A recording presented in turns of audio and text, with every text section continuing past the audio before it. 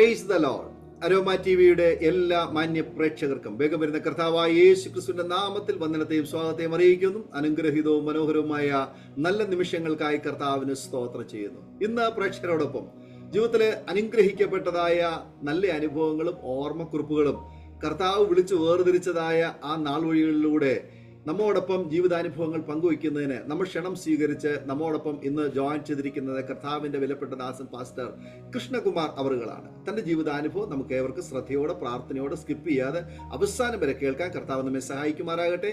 കർത്താവിന്റെ ദാസൻ പാസ്റ്റർ കൃഷ്ണകുമാർ അവറുകളെ തികഞ്ഞ സ്നേഹത്തോടും ആദരവോടും കൂടി അരോമാ ടിവിയുടെ പ്രേക്ഷകരോടൊപ്പം സമയം ചെലവഴിക്കുന്നതിനെ ഞങ്ങൾ സ്വാഗതം ചെയ്തോളൂ പ്രൈസ് പാഷേ പ്രൈസ് പ്രൈസ് ദ അരോമാറ്റിയുടെ കർത്താവ് പ്രേക്ഷകരോടൊപ്പം പരിചയപ്പെടുത്തുന്നതിൽ ഞങ്ങൾക്ക് വളരെ സന്തോഷമുണ്ട്.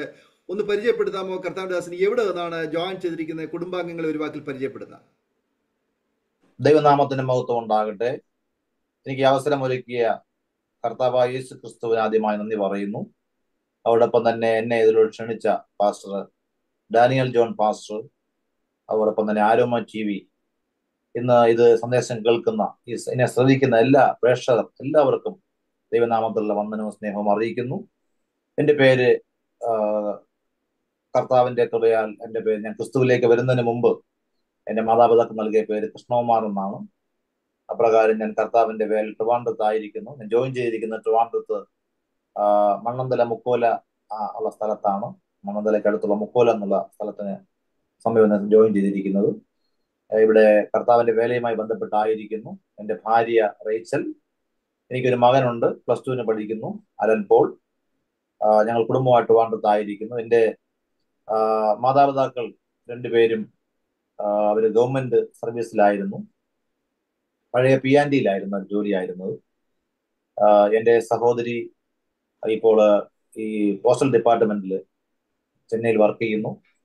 എന്റെ ബ്രദർ ട്രിവാൻഡ്രത്ത് കേരള സ്റ്റേറ്റ് ഗവൺമെന്റിൽ വാട്ടർ അതോറിറ്റിയിൽ വർക്ക് ചെയ്യുന്നു.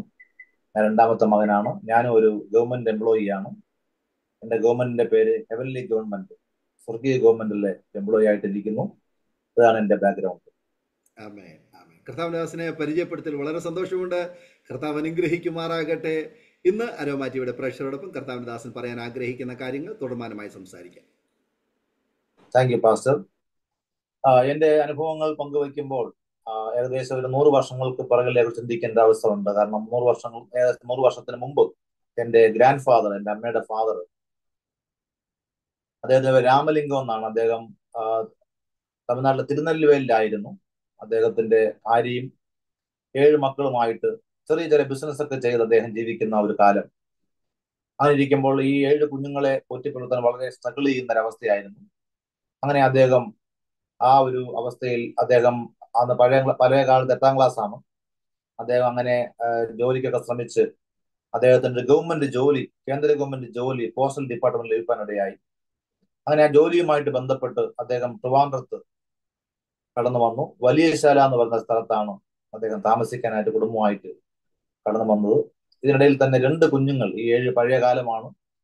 അപ്പൊ അന്ന് ഈ നല്ല ചികിത്സകളൊന്നുമില്ല. അപ്പോ രോഗം വന്ന് രണ്ട് കുഞ്ഞുങ്ങൾ ഈ ലോകം വിട്ട് മാറ്റപ്പെട്ടു. ശേഷിക്കുന്ന അഞ്ച് കുഞ്ഞുങ്ങളുമായിട്ട് അദ്ദേഹം ട്രിവാൻഡ്രത്ത് വലിയ ശാലയിൽ അദ്ദേഹം താമസിക്കാൻ വന്ന സമയത്ത് അവിടെ വളരെയധികം വാടകയ്ക്ക് വീടെടുത്ത് വളരെയധികം അവിടെയും ഈ കുടുംബത്തെ കൊണ്ടുപോകാനായിട്ട് സ്ട്രഗിൾ ചെയ്യുന്ന ഒരു സമയമായിരുന്നു. അങ്ങനെ ചില വർഷങ്ങൾ കഴിഞ്ഞ് അദ്ദേഹം സർവീസിൽ റിട്ടയറായി. അദ്ദേഹം പോസ്റ്റ് ഡിപ്പാർട്ട് റിട്ടയറായി. അതിനുശേഷം ഒന്ന് രണ്ട് മാസം കഴിഞ്ഞപ്പോഴത്തേക്ക് പെട്ടെന്നൊരു ഹൃദയാഘാതം വന്നു. എന്റെ ഗ്രാൻഡ് ഫാദർ ഈ ലോകത്തു നിന്ന് മാറ്റപ്പെട്ടു. അപ്പൊ ഞങ്ങൾ ബ്രാഹ്മിൻ ഫാമിലിയാണ്. വലിയ ശാലയിലുള്ള ഒരു ബ്രാഹ്മിൻ കമ്മ്യൂണിറ്റി നടുവിലാണ് ആ സമയം താമസിച്ചുകൊണ്ടിരുന്നത്. അപ്പോൾ അങ്ങനെ എന്റെ ആ ഗ്രാൻഡ് ഫാദറിന്റെ മരണത്തോടു കൂടി ആ, വാസ്തവം പറഞ്ഞാൽ ഫാമിലി അങ്ങ് അനാഥമായി. കാരണം എന്റെ അമ്മയുണ്ട് എന്റെ അമ്മയ്ക്ക് ഒരു ചേച്ചിയുണ്ട് രണ്ട് അനിയത്തിമാരുണ്ട് ഒരു ബ്രദറുണ്ട് ഒരു ഓൾഡ് ഏജ് അമ്മയുണ്ട്. ഇത്രയും പേരുടെ ചുമതല എന്റെ അമ്മയുടെ ഷോൾഡറിലായി അപ്പൊ എന്റെ അമ്മയ്ക്ക് അന്ന് പതിനെട്ട് വയസ്സേ പ്രായമുള്ള അച്ഛൻ മരിക്കുമ്പോൾ. അപ്പോ വളരെയധികം ഒരു ബുദ്ധിമുട്ടിലായ ഒരു സാഹചര്യമായിരുന്നു. അപ്പൊ ഇതിനിടയ്ക്ക് എന്റെ അമ്മയുടെ ഏക ഒരേ ഒരു ബ്രദറേ ഉള്ളൂ. ആ ഒരേ ഒരു ബ്രദർ ഡെഫ് ആൻഡ് ഡെബാണ് അപ്പോ അദ്ദേഹത്തിന് മെന്റലി ആയിട്ടുള്ള വ്യക്തിയാണ്. അദ്ദേഹത്തിന് ബുദ്ധിക്കുറവുണ്ട്. അപ്പോൾ അദ്ദേഹം സംസാരിക്കത്തില്ല ചെവി കേൾക്കത്തില്ല. അങ്ങനെയുള്ള ഒരു സഹോദരനാണ് കൂടെ ഉള്ളത്. പിന്നെ ഒരു സഹോദരിക്ക് ചില പ്രശ്നങ്ങളൊക്കെ ഉണ്ടായി. താഴ്ച പോയ ഒരവസ്ഥയായിരുന്നു അപ്പോൾ അങ്ങനെ ഈ ഒരു കുടുംബത്തിന്റെ സിറ്റുവേഷൻ വളരെ പ്രയാസകരമായ ഒരു സാഹചര്യമായിരുന്നു. അതൊക്കെ അമ്മ പറഞ്ഞ് അറിയുന്നതാണ്. അപ്പോൾ അങ്ങനെ അച്ഛന്റെ മരണത്തോടു കൂടി ഇത്രയും ആൾക്കാരെ ടേക്ക് കെയർ ചെയ്യണം. വയസ്സായ അമ്മയെ നോക്കണം. പിന്നെ ഈ സഹോദരിമാര് മൂന്ന് പേരുണ്ട്. ഒരു സഹോദരനുണ്ട്. അപ്പൊ ഇത്രയും പേര് ഈ അഞ്ച് മക്കളുള്ളതിൽ എന്റെ അമ്മയ്ക്കാണ് ഇത്തിരി സൗന്ദര്യവും ഇത്തിരി കഴിവുമുള്ളത്. ബാക്കിയുള്ളവർക്കൊന്നും അത്രത്തോളം ഏബിൾ അല്ലായിരുന്നു. അപ്പൊ ഇതെല്ലാം എന്റെ അമ്മ ആ സമയത്ത് അമ്മയുടെ ഷോൾഡറിലാണ് എല്ലാ ഉത്തരവാദിത്വവും വന്നിരിക്കുന്നത് അപ്പോൾ അമ്മനെ എന്റെ അമ്മ പണ്ട് പറയുമായിരുന്നു അങ്ങനെ ഈ അച്ഛന്റെ മരണത്തിന് ശേഷം ഒരു സമയത്ത് ആഹാരം പോലും കഴിക്കാൻ ബുദ്ധിമുട്ടിയ സമയം ഉണ്ടായിരുന്നു. അങ്ങനെ ബന്ധുക്കളുടെ അടുത്ത് പോയി അരിയൊക്കെ അളന്നു. കടം ചോദിക്കുന്ന അങ്ങനെ നാഴിയിൽ അളന്നു കടം വാങ്ങിക്കുന്ന ഒരവസ്ഥ അന്ന് ആ ബാല്യകാലത്ത് അമ്മയ്ക്ക് ഉണ്ടായിരുന്നു പറഞ്ഞിട്ടുണ്ട്. അത്രയും കഷ്ടതയിൽ കൂടെ ആണ് അമ്മ കടന്നു പോയത്. അപ്പോൾ അങ്ങനെ അമ്മ ജോലിക്ക് വേണ്ടിയൊക്കെ ശ്രമിച്ചു. ചുരുക്കി പറഞ്ഞാൽ അമ്മയ്ക്ക് ഒരു ഗവൺമെന്റ് ജോലി അമ്മ അങ്ങനെയൊക്കെ അമ്മയുടെ സമഫലമായിട്ട് ലഭിച്ചു. പോസ്റ്റിംഗ് ലഭിച്ചത് തൃശ്ശൂരിലായിരുന്നു. അങ്ങനെ തൃശ്ശൂരിൽ ഫാട്രാക്ക് എന്നുള്ള സ്ഥലത്ത് അവർ കുടുംബമായിട്ട് അമ്മയും ഈ കൂടെയുള്ള മാതാവും സഹോദരങ്ങളുമായിട്ട് എല്ലാമായിട്ട് അവർ ഫാട്രാക്കിലോട്ട് തിരിച്ചു. അങ്ങനെ അവിടെ ജോലി ചെയ്യുന്ന സമയത്ത് അമ്മ രാവിലെ ജോലിക്ക് പോകും മറ്റുള്ളവർക്കും ജോലി ആയിട്ടില്ല. അമ്മയ്ക്ക് സഹോദരന്മാർക്കൊന്നും ജോലി ആയിട്ടില്ല. ഒരാൾ ആണ്. അപ്പൊ അങ്ങനെയൊക്കെയുള്ള സിറ്റുവേഷനിൽ ഡ്യൂട്ടിയൊക്കെ കഴിഞ്ഞ് വന്ന് വൈകുന്നേരം വരുമ്പോൾ ഇവരെല്ലാം വീട്ടിൽ ഇരിക്കുക. ബാക്കിയെല്ലാം വീട്ടിൽ ഇരിക്കുക. അപ്പൊ ഈ പിന്നെ സഹോദരൻ ഈ ഒരു മാനസികമായ അല്ലെങ്കിൽ ഈ മെന്റലി ആയിട്ടുള്ള സഹോദരനെ ഒരു കയ്യിൽ പിടിച്ചുകൊണ്ട് മറ്റേ കയ്യിൽ ബ്ലൈൻഡ് ആയ സഹോദരിയും പിടിച്ചുകൊണ്ട് അമ്മ പുറത്ത് നട- നടക്കാൻ ഇറങ്ങുമായിരുന്നു. എന്റെ കാരണം അവർ വീട്ടിലിരിക്കുക പകലൊക്കെ വീട്ടിലിരിക്കുക അപ്പൊ അവരെ ഒന്ന് പുറം ലോകത്ത് നടക്കുവാനും ഒന്ന് നല്ല ഹൃദുവായി കൊള്ളിക്കുവാനും എന്തെങ്കിലുമൊക്കെ പർച്ചേസിംഗ് ഒക്കെ ഉണ്ടെങ്കിൽ വാങ്ങിക്കാനൊക്കെ വേണ്ടി അങ്ങനെ ഇറക്കും. അങ്ങനെ നടക്കാൻ സാധാരണ ഇടയ്ക്ക് പോകും പാർക്കിലൊക്കെ ഒന്ന് കൊണ്ടുപോകും കാരണം അമ്മയുള്ളൂ ഇവരെയൊക്കെ ഒന്ന് പുറത്ത് കൊണ്ടുപോകാനായി അപ്പൊ അങ്ങനെ കൊണ്ടുപോകുമ്പോൾ അവിടെയുള്ള സമൂഹം ഞങ്ങളുടെ അമ്മയെയും ഈ ഇവർ മൂന്ന് പേരും നോക്കി അവരെ സഹതപിക്കുമായിരുന്നു. ഈ ഒരു കുടുംബത്തിന്റെ അവസ്ഥ ഇങ്ങനെ ആയി പോയല്ലോ ഈ ഒരു നല്ലൊരു ഭാവിയിലേക്ക് പോകേണ്ട ഒരു പെൺകുഞ്ഞാണല്ലോ. ഈ പെൺകുഞ്ഞിന്റെ അവസ്ഥ ഇങ്ങനെ ആയി പോയല്ലോ ഇവിടെ ആര് നാളെ ഏറ്റെടുക്കും ഇവർക്ക് എങ്ങനെ ഒരു ഭാവി ഉണ്ടാവും? ആര് ഇവിടെ വിവാഹം കഴിക്കും. എന്നൊക്കെയുള്ള ഒരു കമന്റുകൾ ഒക്കെ അമ്മ കേട്ടാണ് മുമ്പോട്ട് പോയിക്കൊണ്ടിരുന്നത്. വളരെ അമ്മയ്ക്ക് ഒരു പ്രയാസമാണ്. കാരണം ഞങ്ങളുടെ ബ്രാഹ്മണ സമൂഹത്തിൽ ഇത്രയും ബാധ്യത ഉള്ള ഒരു കുടുംബത്തിൽ നിന്നും നമ്മൾ ആരും വിവാഹം കഴിക്കത്തില്ല. അത് ഉറപ്പായ ഒരു കാര്യമായിരുന്നു. കാരണം എന്റെ അമ്മ സുന്ദരിയാണ് അമ്മയ്ക്ക് ജോലിയുണ്ട് അമ്മ നല്ല സ്മാർട്ടാണ് എല്ലാം ശരിയാ. പക്ഷേ അമ്മയുടെ ബാക്കിൽ ഇത്രയും ആൾക്കാർ ഏകദേശം മൂന്ന് അഞ്ചു പേര് വയസ്സായ അമ്മ ഉൾപ്പെടെ അഞ്ചു പേര് അഞ്ചു പേരെ സംരക്ഷിക്കേണ്ട ചുമതല ഉള്ളതുകൊണ്ട് ആരും തന്നെ പേരെടുക്കാൻ തയ്യാറാകാത്ത ഒരു സിറ്റുവേഷൻ ആയിരുന്നു. അപ്പോൾ അങ്ങനെ അമ്മയെ വിവാഹം കഴിച്ച് അയക്കാനും ആരുമില്ല. ഒരു ഫാദർ ഇല്ല ഒരു ഉത്തരവാദിത്ത ഒരു ബ്രദർ ഇല്ല ഒരു അങ്കിൾ ഇല്ല. അപ്പോൾ അമ്മയ്ക്കും ആരും ഒരു ഒരു സപ്പോർട്ട് കൊടുക്കാനായിട്ട് ആരുമില്ല. ഇതാണ് ഞങ്ങളുടെ ബാക്ക്ഗ്രൗണ്ട് അപ്പൊ അങ്ങനെ ഇരിക്കുന്ന സാഹചര്യത്തിൽ എന്റെ ആ, മാതാവ് ആ ഓഫീസിൽ പോയ സമയത്ത് തമിഴ്നാട്ടിൽ നിന്ന് ട്രാൻസ്ഫർ ആയിട്ട് അവിടെ ജോലിക്കായിട്ട് ഒരാൾ വന്നു. അപ്പോ നമുക്കറിയാം ഒരേ ഓഫീസിൽ രണ്ടുപേര് തമിഴ് പറയുമ്പോൾ ഉണ്ടാകുന്ന ആ ഒരു സന്തോഷം. അപ്പൊ അമ്മയ്ക്കൊരു സന്തോഷം. കാരണം ഞങ്ങൾ തമിഴ്നാട്ടിൽ നിന്ന് ഒരാൾ വന്നല്ലോ ഓഫീസിൽ വന്നല്ലോ എന്നുള്ള രീതിയിൽ അമ്മ അദ്ദേഹമായിട്ടൊക്കെ സംസാരിക്കുകയും പരിചയപ്പെടുകയും. ശരിക്കും പറഞ്ഞാൽ അമ്മയുടെ ഭാരങ്ങളൊക്കെ ഇറക്കി വെക്കുന്ന ഒരു വ്യക്തിയായിട്ട് അദ്ദേഹം മാറി. കാരണം അമ്മയ്ക്ക് ഈ ഒരു അവസ്ഥയിൽ ഒരു ഒരു ആശ്വാസം അല്ലെങ്കിൽ ഒരു ധൈര്യം അല്ലെങ്കിൽ പ്രോത്സാഹനം അല്ലെങ്കിൽ ഒരു മെന്റൽ സപ്പോർട്ട് കൊടുക്കാൻ ആരുമില്ലാത്ത സാഹചര്യത്തിൽ ഈ വ്യക്തിയിലൂടെ ഒരു ധൈര്യവും ഒരു പ്രോത്സാഹനവും ഒക്കെ അമ്മയ്ക്ക് ലഭിച്ചു. ഞാൻ ആ റിലേഷൻഷിപ്പ് ശരിയാണെന്ന് സ്ഥാപിക്കുകയല്ല. പക്ഷെ എന്റെ അമ്മയുടെ സിറ്റുവേഷൻ അങ്ങനെ ആയതുകൊണ്ട് അങ്ങനെ അദ്ദേഹമായിട്ട് അമ്മ സ്നേഹത്തിലായി. പക്ഷെ അദ്ദേഹത്തിന് ഓൾറെഡി ഭാര്യയും ഏഴ് മക്കളും ഉണ്ടായിരുന്നു.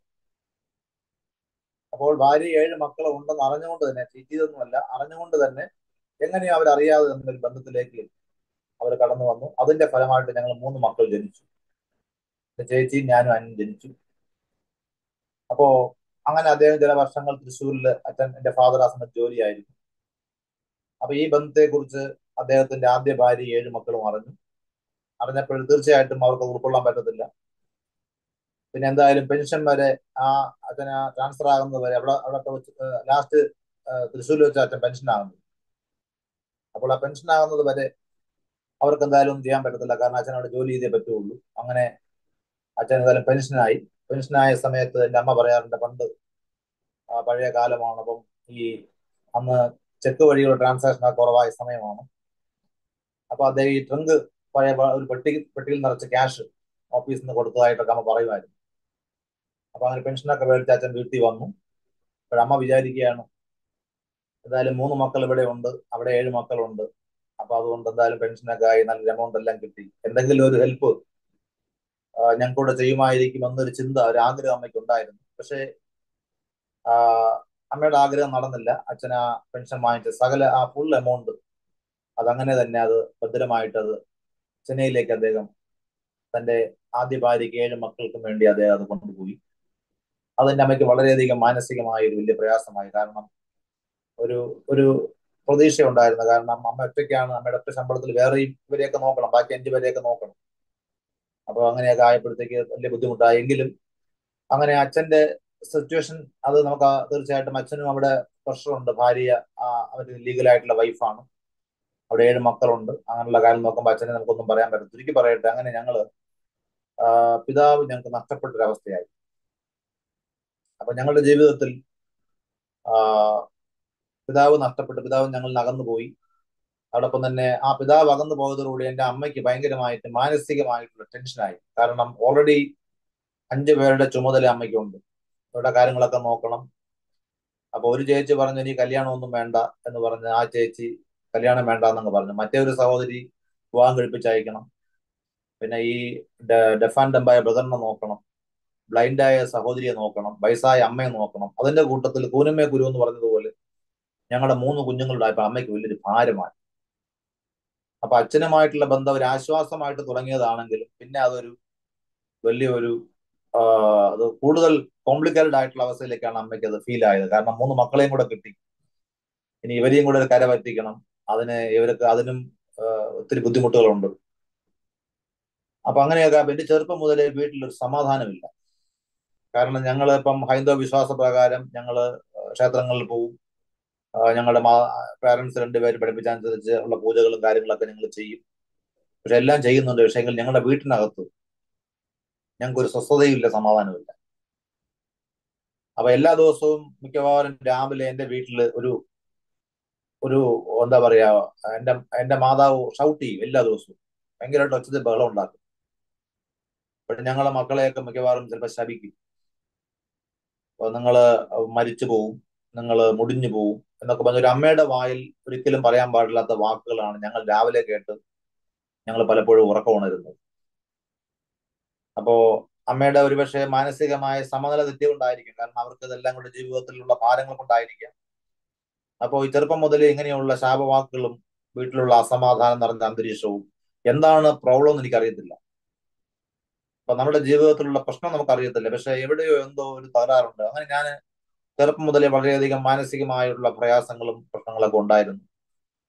അത് കഴിഞ്ഞ് ഒരു പത്ത് പതിനേഴ് പ്ലസ് ടു ഒക്കെ ആയി പാസ്സായി നിൽക്കുന്ന സമയത്ത് പത്ത് പതിനേഴ് വയസ്സായപ്പോൾ ഞാൻ അന്വേഷിക്കാൻ തുടങ്ങി. എന്താണ് ഇതിന്റെ കാരണം? അപ്പോ നമ്മുടെ സമൂഹത്തിലൊക്കെ ഒരുപക്ഷെ ഞങ്ങൾ പുറത്തൊക്കെ ഇറങ്ങുന്ന സമയത്ത് പല കാരണങ്ങളും ഒന്ന് ഈ എന്ന് പതിവായിട്ട് ശബ്ദം ഉണ്ടാകുന്ന വീടായതുകൊണ്ട് അതൊരു നാണക്കേടാണ്. കാരണം എല്ലാവർക്കും നമ്മുടെ വീട് നമ്മളെയൊക്കെ അറിയാം. അപ്പൊ നമ്മളെ അവരെ ഫേസ് ചെയ്യുമ്പോൾ നമുക്കൊരു ബുദ്ധിമുട്ട്. രണ്ട് ആൾക്കാർ ചോദിക്കും ഫാദർ എവിടെയാണ്? അപ്പൊ ആ ചോദ്യം ഞങ്ങൾക്ക് ഫാദർ ഉണ്ട് മദ്രാസിലാണ്. എത്ര കാലം പറഞ്ഞു നിൽക്കും? അപ്പോ ഒരു വർഷമായി രണ്ട് വർഷമായി മൂന്ന് വർഷമായി നാല് വർഷമായി അഞ്ച് അതേ ആൾക്കാരെ കാണുക. അപ്പൊ അവർ വീണ്ടും ചോദിക്കും നിങ്ങൾ മദ്രാസിലാണെന്ന് ഫാദർ പറയുന്നത് ഫാദർ എന്താ വരാത്തത്? അപ്പം അങ്ങനെയൊക്കെയുള്ള ചോദ്യങ്ങളൊക്കെ നമുക്കുണ്ട്. അപ്പൊ ഇങ്ങനെയൊക്കെയുള്ള അവസ്ഥകളിൽ ചുരുക്കി പറയട്ടെ. ഒരു പതിനേഴ് വയസ്സൊക്കെ ആയപ്പോഴത്തേക്ക് വളരെയധികം മാനസികമായി പ്രയാസപ്പെടുന്ന ഒരവസ്ഥ ഉണ്ടായി സ്വസ്ഥതയില്ല സമാധാനമില്ല എവിടെ ഒരു ആശ്വാസം എന്ന് അറിയത്തില്ല നമുക്കറിയാവുന്ന ഹൈന്ദവമായ എല്ലാ പ്രാർത്ഥനകളും പൂജകളൊക്കെ ചെയ്യുന്നുണ്ട് പക്ഷെ എവിടെയൊന്നും ഒരു ആശ്വാസം കിട്ടുന്നില്ല. അപ്പൊ അങ്ങനെയൊക്കെ ഇരുന്ന സമയത്ത് എന്റെ ഒരു സുഹൃത്ത് സോണി എന്നാണ് പേര് ആ സുഹൃത്ത് എന്റെ വീട്ടിൽ വരികയും എന്നോട് യേശുക്രിസ്തുവിന്റെ സുവിശേഷം അദ്ദേഹം പങ്കുവെച്ചു. നിന്നെ സ്നേഹിക്കുന്ന ഒരു ദൈവമുണ്ട്. നിനക്ക് വേണ്ടി ക്രൂസിൽ ജീവനെ കൊടുത്തൊരു ദൈവമുണ്ട്. നിന്നെ പാപങ്ങളിൽ നിന്ന് രക്ഷിക്കുന്ന ഒരു ദൈവമുണ്ട്. നിനക്ക് സമാധാനം തരുന്ന ഒരു ദൈവമുണ്ട്. ആ ദൈവമാണ് കർത്താവായ യേശു ക്രിസ്തു എന്ന് ഉള്ള സുശേഷം അദ്ദേഹം എന്നോട് പങ്കുവച്ചു. അദ്ദേഹത്തിന്റെ ജീവിതാനുഭവങ്ങളിലൂടെ താൻ കടന്നുപോയ ആ അവസ്ഥകളിൽ കൂടെ ദൈവം എങ്ങനെയാണ് വിടുവിച്ചതെന്നുള്ള സാക്ഷ്യങ്ങളൊക്കെ പറഞ്ഞു. അങ്ങനെ ഒരു ദിവസം ഞായറാഴ്ച രാവിലെ അദ്ദേഹം എന്റെ വീട്ടിൽ വന്ന് കോളിംഗ് ബെല്ല് അടിച്ചു. അപ്പൊ ഞാൻ പതുക്കെ തുറന്നപ്പോൾ സോണിയാണ്. അപ്പൊ സോണി ഈ- സോൺ ഞാൻ സോണി എന്നാണ് വിളിക്കുന്നത്. അപ്പൊ സോണി പറഞ്ഞു "അത് കൃഷ്ണമ്മ ഞാൻ വന്ന് ഒരു പ്രയറിന് വിളിക്കാൻ വേണ്ടിയാണ്. ഒന്ന് വരാ കൂടെ വരാമോ എന്ന് ചോദിച്ചു. അപ്പൊ എനിക്ക് ഈ സുവിശേഷം പെട്ടെന്ന് ആദ്യം ഇങ്ങനെ കേട്ടപ്പോൾ പെട്ടെന്ന് അക്സെപ്റ്റ് ചെയ്യാൻ പറ്റിയില്ല. കാരണം ഞാൻ ഓൾറെഡി ഒരു വിശ്വാസം ഫോളോ ചെയ്തുകൊണ്ടിരിക്കുക പെട്ടെന്ന് എനിക്ക് അക്സെപ്റ്റ് ചെയ്യാൻ കഴിഞ്ഞില്ല. എങ്കിലും അദ്ദേഹത്തിന്റെ ആ ആ ഒരു സ്നേഹവും എന്നോടുള്ള അദ്ദേഹത്തിന്റെ ആ ഒരു താല്പര്യവും അദ്ദേഹത്തിന്റെ ആ ഒരു ഹമ്പിൾ ആയിട്ടുള്ള ഇടപെടലും ഒക്കെ എനിക്ക് ഒഴിഞ്ഞു മാറാൻ പറ്റിയില്ല. അപ്പൊ ഞാൻ പറഞ്ഞു ഞാൻ വരാമെന്ന് പറഞ്ഞു. പിന്നെ സോണിയുടെ ആ ഒരു സ്വഭാവം എന്ന് പറഞ്ഞാൽ നല്ല ഒരു പയ്യനാണ് നല്ല ഒരു സൽസ്വഭാവിയും നല്ല ഒരു ദൈവഭക്തനുമായ വ്യക്തിയാണ്. അപ്പൊ അങ്ങനെ ആ ഒരു നേച്ചർ ഞാൻ ഇഷ്ടപ്പെട്ടതുകൊണ്ട് എനിക്ക് യേശുവിനെ അറിയത്തില്ലെങ്കിലും ആ ഒരു അദ്ദേഹത്തിന്റെ ആ ഗോഡ്ലി നേച്ചർ എന്നെ വളരെ ആകർഷിച്ചു. അങ്ങനെ ഞാൻ അദ്ദേഹത്തിന്റെ ആ ഒരു സ്നേഹത്തിന്റെ പുറത്ത് ഞാൻ അദ്ദേഹത്തിനോട് ചർച്ചിൽ പോയി. അപ്പൊ എന്റെ മനസ്സിൽ ഞാൻ വിചാരിക്കുന്നത് ഏതോ വലിയ പള്ളി ആയിരിക്കും. എന്റെ മനസ്സിൽ ഈ പാളയം പള്ളി അങ്ങനെയൊക്കെ ഉള്ള വലിയ വലിയ പള്ളി എന്റെ മനസ്സിൽ ഓർമ്മ. അപ്പൊ ഞാൻ ചോദിച്ചു പള്ളി എവിടെയാണ്? അപ്പൊ സോനിയ സമാധാനപ്പെട്ട് ഞങ്ങൾക്ക് പള്ളിയിലോട്ട് പോവാം. സമാധാനപ്പെടുന്നു പറഞ്ഞ് അങ്ങനെ അദ്ദേഹം കൊണ്ടുപോവുകയാണ്. അദ്ദേഹം നേരെ കൊണ്ടുപോയത് രണ്ട് നല്ല ടെറസത്തിന്റെ വീട്ടിലേക്കാണ് കൊണ്ടുപോയത്. ഞാൻ നോക്കിയപ്പോൾ പള്ളിയുടെ യാതൊരു ലക്ഷണവും ഇല്ല. അവിടെ ഒരു കുരിശ് പോലും ഇല്ല. യാതൊരു വിധത്തിലുള്ള അവിടെ മെഴുകി കത്തിക്കുന്ന ആരും കാണുന്നില്ല. അപ്പൊ ഇതൊക്കെയാണ് എന്റെ സങ്കല്പത്തിലുള്ള പള്ളി. അപ്പൊ അദ്ദേഹം പറഞ്ഞു നമുക്ക് പോവാം അങ്ങനെ രണ്ടാം നിലയിൽ അദ്ദേഹം എന്നെ കൊണ്ടുപോയി. അപ്പൊ രണ്ടാം നിലയിൽ അവിടെ കുറച്ച് പായൊക്കെ ഇട്ട് കുറച്ച് പേരിരുന്ന് പാട്ടൊക്കെ പാടി പ്രാർത്ഥന പറഞ്ഞു ഇതാണ് ഞങ്ങളുടെ പള്ളി എന്ന്. അപ്പൊ ഞങ്ങൾക്ക് വീടാണ്. ആ വീട്ടിൽ അവർ ഫർണിച്ചറൊക്കെ മാറ്റി ഞായറാഴ്ച അവർ പായിട്ട് പ്രാർത്ഥിക്കുക അങ്ങനെ ഞാൻ വാസ്തവം പറഞ്ഞ ആ പ്രാർത്ഥന ഒന്ന് കാണാൻ പോയതാണ്. എന്താ അവിടെ നടക്കുന്നത്? ഇവരെങ്ങനെയാണ് പ്രാർത്ഥിക്കുന്നതെന്ന് അറിയാൻ വേണ്ടിയാണ് അവിടെ പോയത്. അപ്പോൾ അങ്ങനെ ആ പ്രയറിൽ വാസ്തവം പറഞ്ഞല്ല അവിടെ പങ്കെടുത്ത സമയത്ത് എന്തോ ഒരു ദൈവത്തിന്റെ സമാധാനം എനിക്ക് അവിടെ ഫീൽ ചെയ്തു. ഞാൻ അന്വേഷിച്ചുകൊണ്ടിരുന്ന എനിക്ക് പലയിടങ്ങളിൽ ലഭിക്കാത്ത ഒരു ദൈവത്തിന്റെ ഡിവൈൻ പീസ് നമ്മൾ യോഹന്നാൻ പതിനാല് ഇരുപത്തി ഏഴിൽ യേശു ക്രിസ്തു പറഞ്ഞു എന്റെ സമാധാനം ഞാൻ തന്നു തന്നയിച്ചു പോകുന്നു. അത് ലോകം തരുന്ന സമാധാനമല്ല. അപ്പൊ ആ ദൈവത്തിന്റെ സമാധാനം എനിക്ക് അവിടെ ഫീൽ ചെയ്തു. അത് കഴിഞ്ഞ് അവിടെ ആ ദേവദാസൻ സാക്ഷ്യം പറയാൻ വേണ്ടി ഉള്ള അവസരങ്ങൾ കൊടുത്തു. അപ്പൊ അവിടെ ഓരോരുത്തരായിട്ട് സാക്ഷ്യങ്ങൾ. ഇപ്പൊ ഞാൻ വിചാരിക്കുന്നവരെല്ലാം ക്രിസ്ത്യൻസ് ആണ് അവരുടെ ദൈവത്തെ പ്രാർത്ഥിക്കുന്ന വിചാരിച്ചു. പക്ഷെ സാക്ഷ്യങ്ങൾ കേട്ടപ്പോൾ എനിക്ക് മനസ്സിലായി. മറ്റ് പല മതസമൂഹങ്ങളിൽ നിന്ന് കർത്താവിനെ അറിഞ്ഞു വന്ന ആൾക്കാരാണ് സാക്ഷ്യം പറയുന്നത്.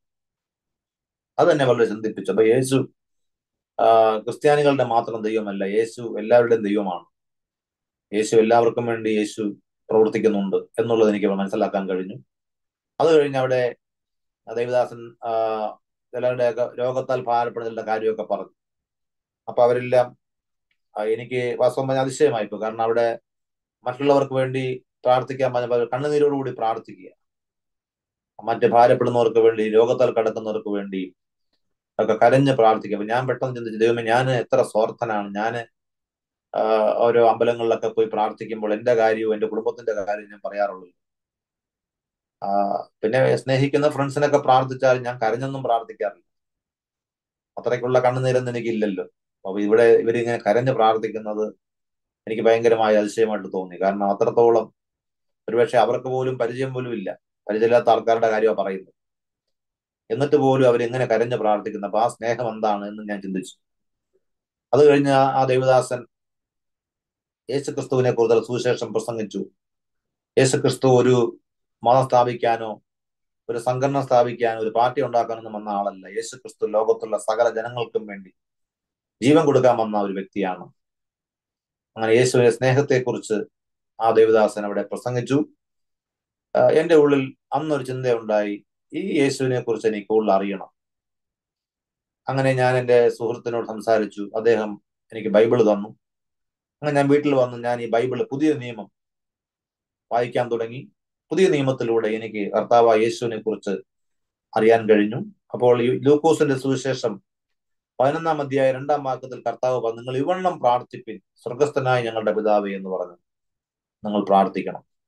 അപ്പോ എനിക്ക് ഒരു പിതാവിന്റെ അഭാവവും കാരണം ഞാനും പിതാവുമായിട്ടുള്ള ബന്ധം എന്ന് പറയുന്നത് ഞങ്ങൾ ആ, പെൻഷനായ അച്ഛൻ അവിടെ നിന്ന് ഞങ്ങളെല്ലാം വിട്ടുപോയി. അത് കഴിഞ്ഞ് അമ്മ ഞങ്ങളെ എന്നെയും ഞങ്ങളെ എന്റെ സഹോദരിയുണ്ട്. ഞങ്ങൾ രണ്ടുപേരും ചിലപ്പോഴൊക്കെ ഒരു അഞ്ച് നാലോ അഞ്ചോ വർഷം കൂടുമ്പോൾ ട്രെയിനിൽ കയറ്റി വിടും. ചെന്നൈ ട്രെയിനിൽ കയറ്റി ഞങ്ങളെ വിടും. അപ്പൊ ഫാദർ ചെന്നൈയിൽ വന്ന് നിൽക്കും. ഞങ്ങളെ അവിടെ ഒന്ന് റിസീവ് ചെയ്യും. റിസീവ് ചെയ്ത് ഏതെങ്കിലും ഒരു സുഹൃത്തിന്റെ വീട്ടിൽ കൊണ്ടുപോകും. ഒന്നോ രണ്ടോ ആഴ്ച ഞങ്ങളുടെ വെക്കേഷൻ അവിടെ സ്പെൻഡ് ചെയ്യും. ഞങ്ങൾ തിരിച്ചു വരും. ഇതായിരുന്നു ഞങ്ങളുടെ ജീവിതം. അതൊരു ഒരു എപ്പോഴും അല്ല ഒരു നാലോ അഞ്ചോ വർഷം കൂടുമ്പോഴായിരിക്കും അങ്ങനെ സംഭവിക്കുന്നത്. അപ്പോൾ അങ്ങനെയൊക്കെയുള്ള വല്ലപ്പോഴും മാത്രം കാണുന്ന ഒരു ആ ഒരു ബന്ധമാണ്.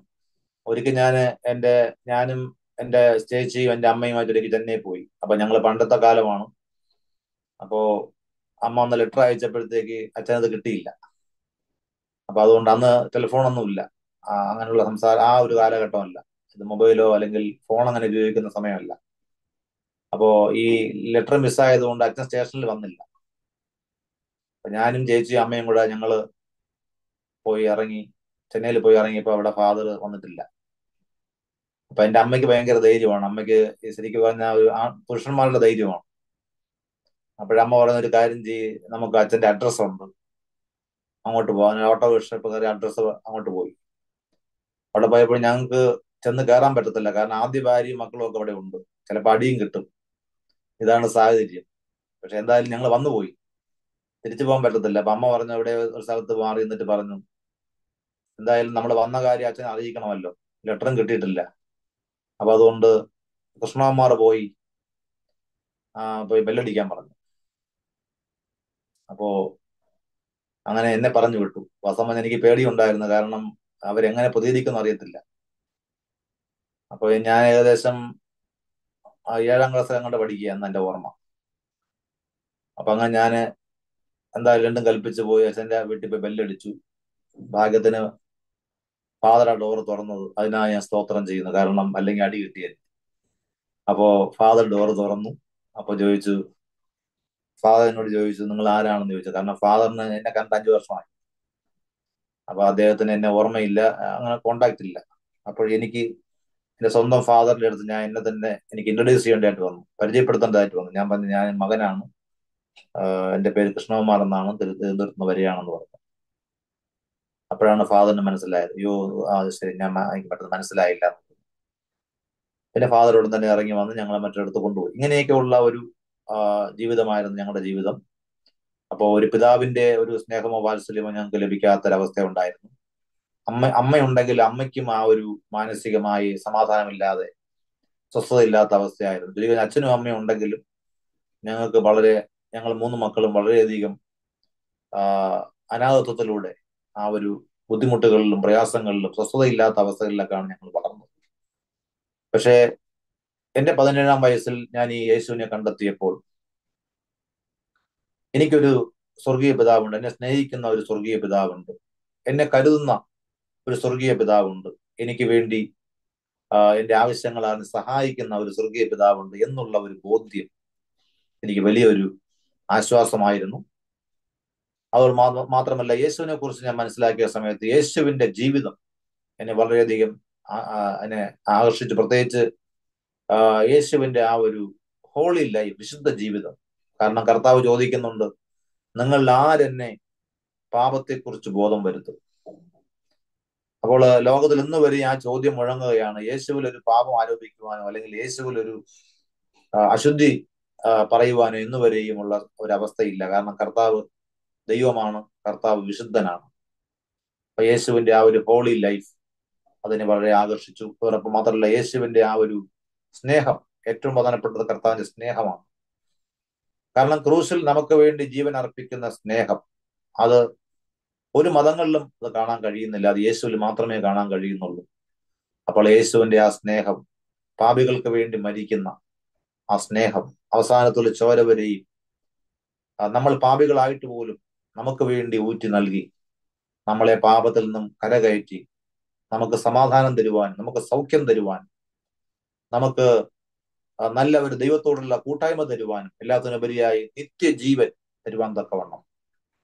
എന്നേക്കുമുള്ള ദൈവത്തോട് വസിക്കുന്ന നിത്യജീവൻ എറ്റേണൽ ലൈഫ് നമുക്ക് നൽകുവാൻ തക്കവണ്ണമുള്ള ആ യേശുവിന്റെ ആ വചനങ്ങൾ എന്നെ വളരെയധികം ചിന്തിപ്പിക്കുകയും അങ്ങനെ ഞാൻ കർത്താവിനായിട്ട് എന്റെ ഹൃദയം ഞാൻ സമർപ്പിച്ചു എന്റെ പതിനേഴാം വയസ്സിൽ കർത്താവിനായി ഹൃദയം സമർപ്പിച്ചു അങ്ങനെ തിരുവനന്തപുരത്തുള്ള ആ, സമയത്ത് ചർച്ച ഗോഡുമായിട്ട് ബന്ധപ്പെട്ട് നിൽക്കുന്ന പാസ്റ്റർ ജോർജ് തോമസ് അദ്ദേഹം കർത്താവിനെ അറിഞ്ഞ് ദുബായിൽ നിന്നും ജോലി രാജിവെച്ച് അദ്ദേഹം എഞ്ചിനീയർ ആയിരുന്നു. രാജിവെച്ച് ദൈവവിളി കേട്ടിറങ്ങി അദ്ദേഹം ട്രിവാൻഡ്രത്ത് കർത്താവിന്റെ വേലിലായിരിക്കുമ്പോഴാണ് ഞാൻ ആ സഭയുമായിട്ട് ഈ സോണി എന്നെ ബന്ധിപ്പിക്കുന്നത്. അങ്ങനെ അദ്ദേഹം എനിക്ക് ദൈവവചനങ്ങൾ പറഞ്ഞു തരികയും അദ്ദേഹത്തിന്റെ ആ കൂട്ടായ്മയിൽ പങ്കെടുക്കുവാനുള്ള അവസരമുണ്ടായി. അവിടെ വെച്ചാണ് ഞാൻ സ്നാനം എടുക്കുന്നത് അങ്ങനെ നയന്റി ടു ഓഗസ്റ്റ് മാസം കർത്താവിനെ അറിയുന്നു. ഒക്ടോബർ മാസത്തിൽ അതേ വർഷം തന്നെ ദൈവാത്മാവിനോട് ഇടപെടുകയും അങ്ങനെ ജലത്തിൽ സ്നാനപ്പെടുവാനായിട്ട് മുങ്ങി സ്നാനം സ്വീകരിപ്പാൻ തക്കവണ്ണം എനിക്ക് ഇടയായി ഞാൻ രഹസ്യമായിട്ടാണ് സ്നാനപ്പെടുന്നത്. എന്റെ വീട്ടിലൊന്നും അറിയുന്നില്ല. ആദ്യത്തെ കുറച്ച് ആഴ്ചകളൊക്കെ ഞാൻ വീട്ടിൽ പറയാതെയാണ് സഭയിലൊക്കെ പോയത്. പക്ഷെ പിന്നത്തേതിൽ എന്റെ ജീവിതം കണ്ടപ്പോൾ എന്റെ അമ്മയ്ക്കും സഹോദരങ്ങൾക്കും മറ്റ് കോട്ടയ്ക്കകത്തുള്ള കുറച്ച് ബന്ധുക്കളൊക്കെ ഉണ്ട്. അവർക്കെല്ലാം മനസ്സിലായി. ഇങ്ങനെ ക്രിസ്തീയ വിശ്വാസത്തിൽ മനസ്സിലായി. അങ്ങനെ പിന്നീട് വളരെയധികം പ്രതിസന്ധികൾ എനിക്കുണ്ടായി. കാരണം എന്റെ ഈ വിശ്വാസത്തെ അംഗീകരിക്കാനായിട്ട് അവർക്കാർക്കും കഴിഞ്ഞില്ല. അപ്പൊ അങ്ങനെ അവരെ വളരെയധികം എതിർക്കാൻ തുടങ്ങി. അങ്ങനെ എന്റെ മദർ എന്നോട് ആദ്യമൊക്കെ പറഞ്ഞു അങ്ങനെ അന്നും പോവരുത് എന്നൊക്കെ പറഞ്ഞ്. കേൾക്കാതെ വന്നപ്പോഴത്തേക്ക് എന്റെ മദർ പിന്നെ കുറച്ചുകൂടെ കളിപ്പിക്കാൻ തുടങ്ങി. കുറച്ചുകൂടെ സ്ട്രിക്റ്റ് ആകാൻ തുടങ്ങി. അപ്പോൾ ഞാൻ എന്തായാലും പ്ലസ് ടു കഴിഞ്ഞ് ഞാൻ കർത്താവിനെ അറിഞ്ഞതിന് ശേഷം ഞാൻ ബി എസ് സിക്ക് എനിക്ക് പഠിക്കാൻ ഫിസിക്സ് മെയിൻ എടുത്താണ് ഞാൻ പഠിക്കുന്നത്. അപ്പോൾ ആ ഫിസിക്സ് പഠിക്കുന്നതിനേക്കാളും കൂടുതൽ ഞാൻ ബൈബിളാണ് പഠിച്ചത്. കാരണം ഞാൻ ബൈബിൾ വായി വായനയ്ക്കാണ് കൂടുതൽ സമയം എടുക്കുന്നത്. അപ്പോൾ അങ്ങനെ ഞാൻ കർത്താവിന്റെ വേലയുമായിട്ടും കർത്താവിന്റെ വചനവുമായിട്ടൊക്കെ ബന്ധപ്പെട്ട് വളരെ മുമ്പോട്ട് പോകുന്ന സമയത്ത് വളരെയധികം വീട്ടിൽ പ്രതികൂലങ്ങൾ ആഞ്ഞടിച്ചു. അങ്ങനെ എന്റെ വിശ്വാസത്തെ അവരൊക്കെ ചോദ്യം ചെയ്യുന്ന അപ്പൊ അങ്ങനെയൊക്കെ വന്നപ്പോൾ എന്റെ മാതാവ് ആവശ്യപ്പെട്ടു. ഞങ്ങൾ നിന്നെ ഇത്രയും പഠിപ്പിച്ചത്. ഇത്രയും വളർത്തി ഇത്രയും വലുതാക്കിയത്. ഒരിക്കലും ഒരു ക്രിസ്തീയമായ ഒരു സുശേഷകനാകാൻ വേണ്ടിയോ അല്ലെങ്കിൽ ഒരു ദൈവ വേല ചെയ്യാൻ വേണ്ടിയോ അങ്ങനെയുള്ള ഒന്നുമല്ല ഒരു ഗവൺമെന്റ് ജോലിക്കാരനാകാൻ വേണ്ടി ഞങ്ങൾ ആഗ്രഹിച്ചത്. അതുകൊണ്ട് നിന്റെ ഈ വിശ്വാസമെല്ലാം ഉപേക്ഷിക്കണം. ഞങ്ങൾ പറയുന്നത് കേട്ട് ഞങ്ങളുടെ കൂടെ ആയിരിക്കണം. അതല്ല എന്നുണ്ടെങ്കിൽ നിനക്ക് ഞങ്ങളുടെ വിശ്വാസമോ ഞങ്ങളുടെ ഈ രീതിയിൽ മുമ്പോട്ട് പോകാൻ താല്പര്യപ്പെടുന്നില്ല എന്നുണ്ടെങ്കിൽ ഈ വീട്ടിൽ നിന്ന് ഇറങ്ങണമെന്ന് പറഞ്ഞു എന്റെ ചെലവിൽ എന്റെ അണ്ടറിലായിരുന്നുകൊണ്ട് ഈ ഒരു പ്രാർത്ഥനയും കാര്യമൊന്നും ശരിയാകും നടക്കത്തില്ല. അപ്പൊ അതുകൊണ്ട് നീ അങ്ങനെ മുമ്പോട്ട് പോകാൻ ആഗ്രഹിക്കുന്നുണ്ടെങ്കിൽ ഇവിടുന്ന് ഇറങ്ങാനായിട്ട് എന്റെ മാതാവ് എന്നെ ആവശ്യപ്പെട്ടു. അപ്പോൾ അങ്ങനെ ആ ഒരു സാഹചര്യത്തിൽ ഞാൻ ആദ്യം വിചാരിച്ചത് അമ്മ ചുമ്മാ പറയുമായിരിക്കും ഒരു അമ്മ അങ്ങനെ ഒരിക്കലും ഇറങ്ങിപ്പോകാൻ പറയത്തില്ലല്ലോ അതുകൊണ്ട് അങ്ങനെയൊന്നും വെറുതെ പറയുന്നതായിരിക്കും മൈൻഡ് ചെയ്തില്ല. പക്ഷെ എന്റെ അമ്മയുടെ ആ പിന്നീടുള്ള അമ്മയുടെ ആ ബഹളങ്ങളും ദേഷ്യങ്ങളും എല്ലാം എന്റെ അടുത്ത് മാത്രമാണ്. കംപ്ലീറ്റ് എന്റെ പുറത്ത് ഫോക്കസ് ചെയ്യാൻ തുടങ്ങി. കാരണം ഞാൻ അവിടുത്തെ ഒരു അധികപ്പറ്റായിട്ടും എന്ത് വിഷയം വന്നാലും മറ്റത് മൂന്ന് മക്കളെയും ശാസിക്കുകയും വഴക്ക് പറയുകയൊക്കെ ചെയ്യുമായിരുന്നു. പക്ഷേ എന്റെ പതിനേഴാം വയസ്സിൽ ഞാൻ കർത്താവിനെ അറിഞ്ഞതിന് ശേഷം കൂടുതൽ എന്നിലേക്ക് അത് മാറി. എല്ലാത്തിന്റെയും കുറ്റക്കാരൻ ഞാനായി. എല്ലാ ഞാൻ ശാപത്തിന്റെ പ്രതീകമായി. അപ്പോൾ അങ്ങനെ എല്ലാം എന്റെ പുറത്ത് കുറ്റം ചുമക്കുന്ന ഒരവസ്ഥ എനിക്കുണ്ടായി. വളരെയധികം എനിക്കത് പ്രയാസമുണ്ടായി. ഞാൻ ആറ് വർഷത്തോളം രക്ഷിക്കപ്പെട്ട് കർത്താവിനെ അറിഞ്ഞതിന് ശേഷം ആറ് വർഷത്തോളം ഞാൻ വീട്ടിൽ ഞാൻ ആയിരുന്നു. അതോടൊപ്പം തന്നെ വളരെ പ്രതികൂലങ്ങൾ സഹിച്ചു. ഇതിനിടയ്ക്ക് എന്റെ പല സുഹൃത്തുക്കളും അവരുടെ സുശേഷം പങ്കുവയ്ക്കുവാനും കർത്താവിലേക്ക് അവരെ നേടുവാനും ഒക്കെ കർത്താവ് അവസരം തന്നു. അവരെ പലരും ഇന്ന് ദൈവത്തിന്റെ ശുശ്രൂഷകരാണ് വേലക്കാരാണ് ചിലർ ഫുൾ ടൈം പാസ്റ്റേഴ്സ് ആണ്. അപ്പോൾ അങ്ങനെയൊക്കെയുള്ള ഒരുപാട് അനുഭവങ്ങൾ ഉണ്ട്. ദൈവത്തിന് സ്തോത്രം. അങ്ങനെ വളരെയധികം ചലഞ്ചുകളിലൂടെ ഞാൻ പോയി. അപ്പോൾ ആ സമയത്ത് ഐ സി പി എഫിന്റെ പ്രവർത്തനവുമായിട്ട് ഞാൻ ബന്ധപ്പെട്ട് അവരുടെ ക്യാമ്പുകളിലൊക്കെ പങ്കെടുക്കാൻ അവസരം ഉണ്ടായി അങ്ങനെ ആ ക്യാമ്പുകളിൽ എനിക്ക് ആത്മീയമായി വളരെ ബലപ്പെടുവാൻ ആത്മീയമായി വളരുവാനും പ്രത്യേകിച്ച് ഞാൻ ഒറ്റയ്ക്കല്ല എന്നെ പോലെ പ്രാർത്ഥിക്കുന്ന നിരവധി യുവതി യുവാക്കൾ യൗവന പ്രായത്തിൽ ദൈവത്തെ അറിയുന്നവരുണ്ട് എന്നുള്ള ആ ഒരു ചിന്ത എനിക്ക് വളരെയധികം ധൈര്യവും പ്രോത്സാഹനവുമായിരുന്നു. അങ്ങനെ ദൈവത്തിന്റെ കൃപയാൽ മുമ്പോട്ട് പോയി. ചുരുക്കി പറഞ്ഞാൽ കുറച്ചു ദിവസം കഴിഞ്ഞപ്പോഴത്തേക്ക് വീട്ടിൽ സമ്മർദ്ദം എന്റെ മാതാവ് പറഞ്ഞു നീ ഇറങ്ങിപ്പോണം ഇറങ്ങിപ്പോണം. ഇതാണ് എന്നും പറയുന്നു അപ്പൊ എനിക്ക് വാസ്തവം പറഞ്ഞാൽ എന്ത് ചെയ്യണമെന്ന് അറിയത്തില്ല. അങ്ങനെ ഞാൻ വളരെയധികം പ്രാർത്ഥിച്ച ഒരു ദിവസം ബൈബിൾ വായിക്കാൻ തുറന്നപ്പോഴത്തേക്ക് കിട്ടിയത് ഉൽപ്പത്തി പുസ്തകം പന്ത്രണ്ടാം അധ്യായമാണ്. അവിടെ ദൈവം അബ്രഹാമിനോട് പറയാം അബ്രഹാമേ നീ നിന്റെ വീടും ചർച്ചക്കാരെ എല്ലാം വിട്ട് നീ പുറപ്പെടുക. ഞാൻ നിന്നെ കാണിപ്പാൻ ദേശത്തേക്ക് നീ പുറപ്പെടുക. ഈ ഒരു വേദഭാഗമാണ് എനിക്ക് ലഭിച്ചത്. അങ്ങനെ ഞാൻ അത് വെച്ച് പ്രാർത്ഥിച്ചു. അങ്ങനെ ഒരു ഭവനം അന്വേഷിക്കാൻ തുടങ്ങി. അപ്പൊ എന്നെ സ്നേഹിക്കുന്ന പല ക്രിസ്തീയമായ സഹോദരങ്ങളും ക്രിസ്തീയമായ എന്റെ പല പിന്നെ അറി പരിചയത്തിലുള്ള പല അങ്കിൾമാരൊക്കെ ഉണ്ടായിരുന്നു. അപ്പൊ അവരൊക്കെ പറഞ്ഞു കൃഷ്ണന്മാർ ഞങ്ങളുടെ വീട്ടിൽ നിൽക്കാം. മോനെ പോലെ നിൽക്കാന്നൊക്കെ പലരും വിളിച്ചു. പക്ഷെ എന്റെ മനസ്സ് അനുവദിച്ചില്ല. ആ തീർച്ചയായിട്ടും മാറുന്നെങ്കിൽ സ്വന്തമായിട്ട് തന്നെ ഒരു വീട് വാടകയ്ക്ക് എടുത്ത് മാറണം എന്ന ചിന്തയായിരുന്നു. അങ്ങനെ നയന്റി എയ്റ്റിൽ. നയന്റി ടൂൽ കർത്താവിനെ അറിഞ്ഞു. നയന്റി എയ്റ്റിൽ ഞാൻ ആ സമയത്ത് എം എ സോഷ്യോളജി പഠിച്ചുകൊണ്ടിരിക്കുക ആ സമയത്ത് ഒരു വാടകയ്ക്ക് ഒരു വീട് കണ്ടുപിടിച്ച് അങ്ങോട്ട് മാറുവാനിടയായി തീർന്നു എങ്ങനെ മാറുമെന്നോ എങ്ങനെ ജീവിക്കും ഒന്നും അറിയത്തില്ല. കാരണം ഒരു വരുമാനവും ഇല്ല. ഞാൻ സ്റ്റുഡന്റ് ആണ് പഠിച്ചുകൊണ്ടിരിക്കുകയാണ് അപ്പോൾ ഒന്നും അറിയത്തില്ല. പക്ഷേ ദൈവത്തിന്റെ ഒരു വചനവും വാഗ്ദത്വമുണ്ട് എന്റെ നീതിമാൻ വിശ്വാസത്താൽ ജീവിക്കും. ഗലാത്തർ മൂന്നിന്റെ പതിനൊന്ന് പറയുന്നു. ഹബുഹുക്ക് രണ്ട് നാല് പറയുന്നു my righteous shall live by faith എന്റെ നീതിമാൻ വിശ്വാസത്താൽ ജീവിക്കും. ആ ഒരു വിശ്വാസം കൈമുതലായിക്കൊണ്ടാണ് ഞാൻ ഇറങ്ങി തിരിച്ചത് അപ്പോൾ വാടക കൊടുക്കുമെന്ന് അങ്ങനെ അറിയത്തില്ല. വീടിന്റെ അഡ്വാൻസിന്റെ കാര്യമൊന്നും അറിയത്തില്ലായിരുന്നു. പക്ഷെ ഈ വീട് കൊണ്ട് കാണിച്ച ഒരു അങ്കിൾ എന്നോട് പറഞ്ഞു കൃഷ്ണകുമാർ അഡ്വാൻസിനെ കുറിച്ചൊന്നും വിഷമിക്കണ്ട.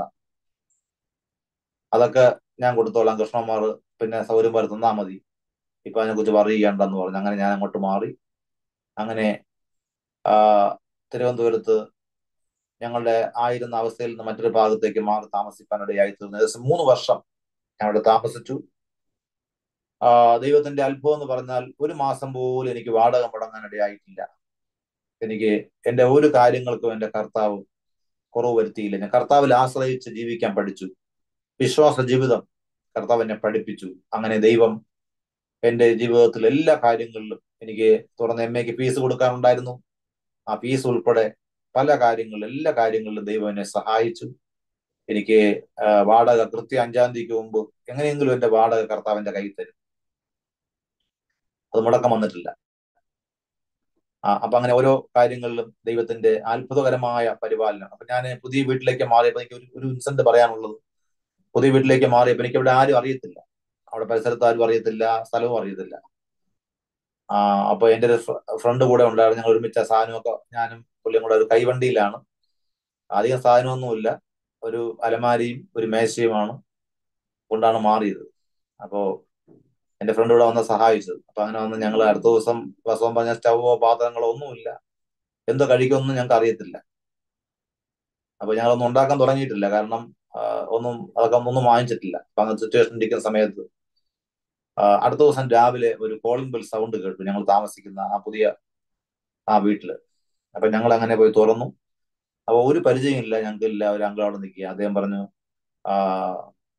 ഞാനിവിടെ അടുത്ത് താമസിക്കുന്നതാണ് തൊട്ടടുത്ത വീട്ടിൽ താമസിക്കുന്നതാണ് ഞാൻ ഒരു വിശ്വാസിയാണ്. ഞങ്ങൾ അസംബ്ലിസ്റ്റ് കോഡിലെ വിശ്വാസിയാണ്.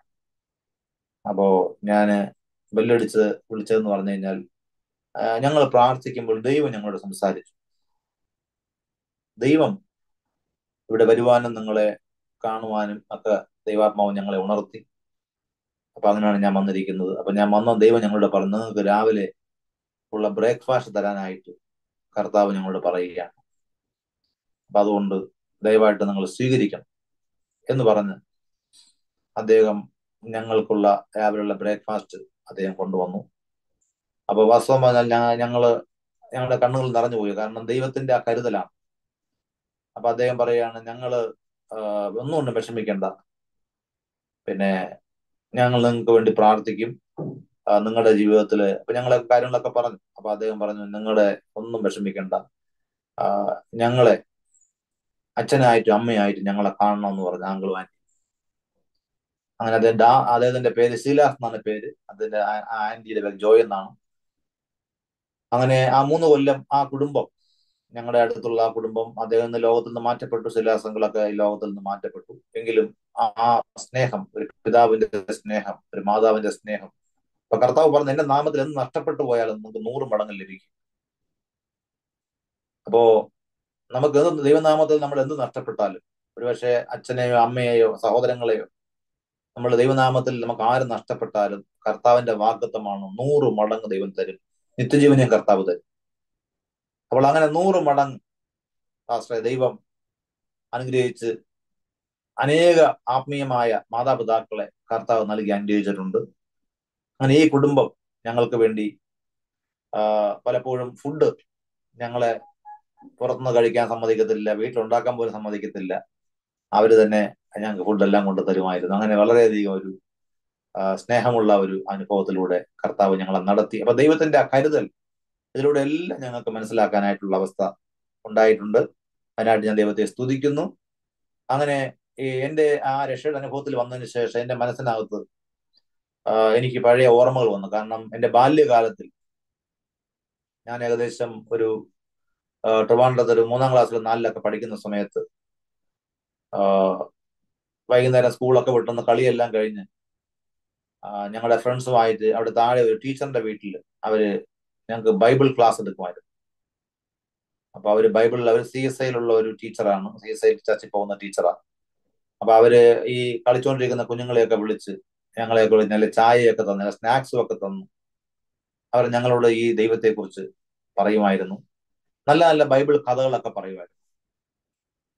അപ്പൊ അങ്ങനെ വെക്കേഷൻ സമയത്താണ് കൂടുതൽ ക്ലാസ് ഉണ്ടായിരുന്നത്. അപ്പൊ അങ്ങനെയൊക്കെ ഇടയ്ക്ക് ഞാൻ പോയി പങ്കെടുത്തിട്ടുണ്ട്. അപ്പോൾ ഞങ്ങൾക്ക് അത് നല്ല കഥകൾ കേൾക്കാനൊക്കെ ഇഷ്ടമായിരുന്നു.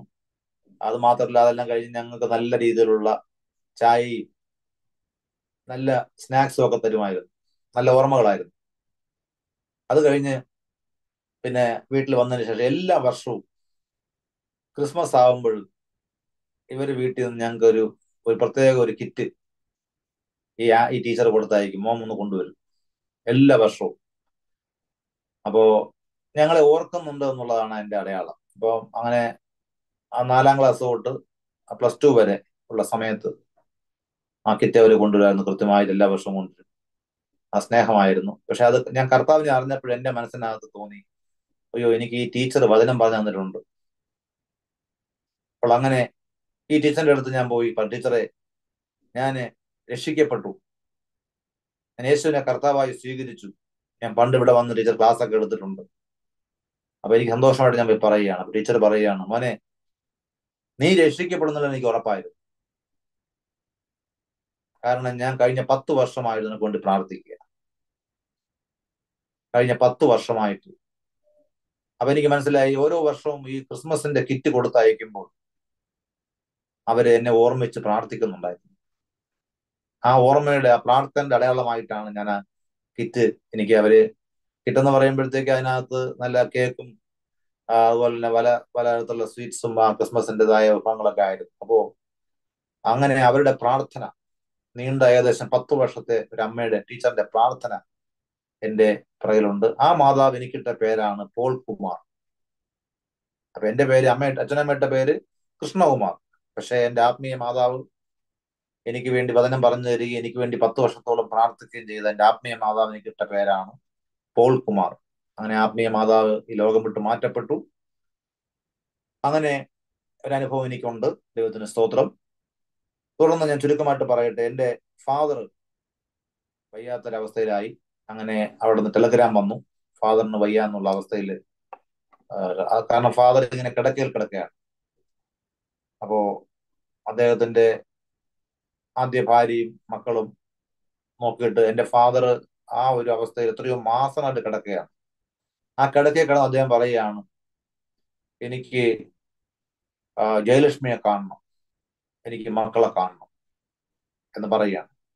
അപ്പൊ ഇവർക്ക് മനസ്സിലായി ഞങ്ങളെ കാണാതെ അച്ഛൻ മരിക്കൂല. ഒരേ കിടപ്പ് മാസത്തെ കിടക്കുകയാണ്. ഞങ്ങളെ കണ്ടാലേ അച്ഛൻ മരിക്കുകയുള്ളൂ. അവർക്ക് മനസ്സിലായി. അപ്പൊ അങ്ങനെ അവർ ഞങ്ങളെ വിളിച്ചു. ആ സ്നേഹം കൊണ്ടല്ല.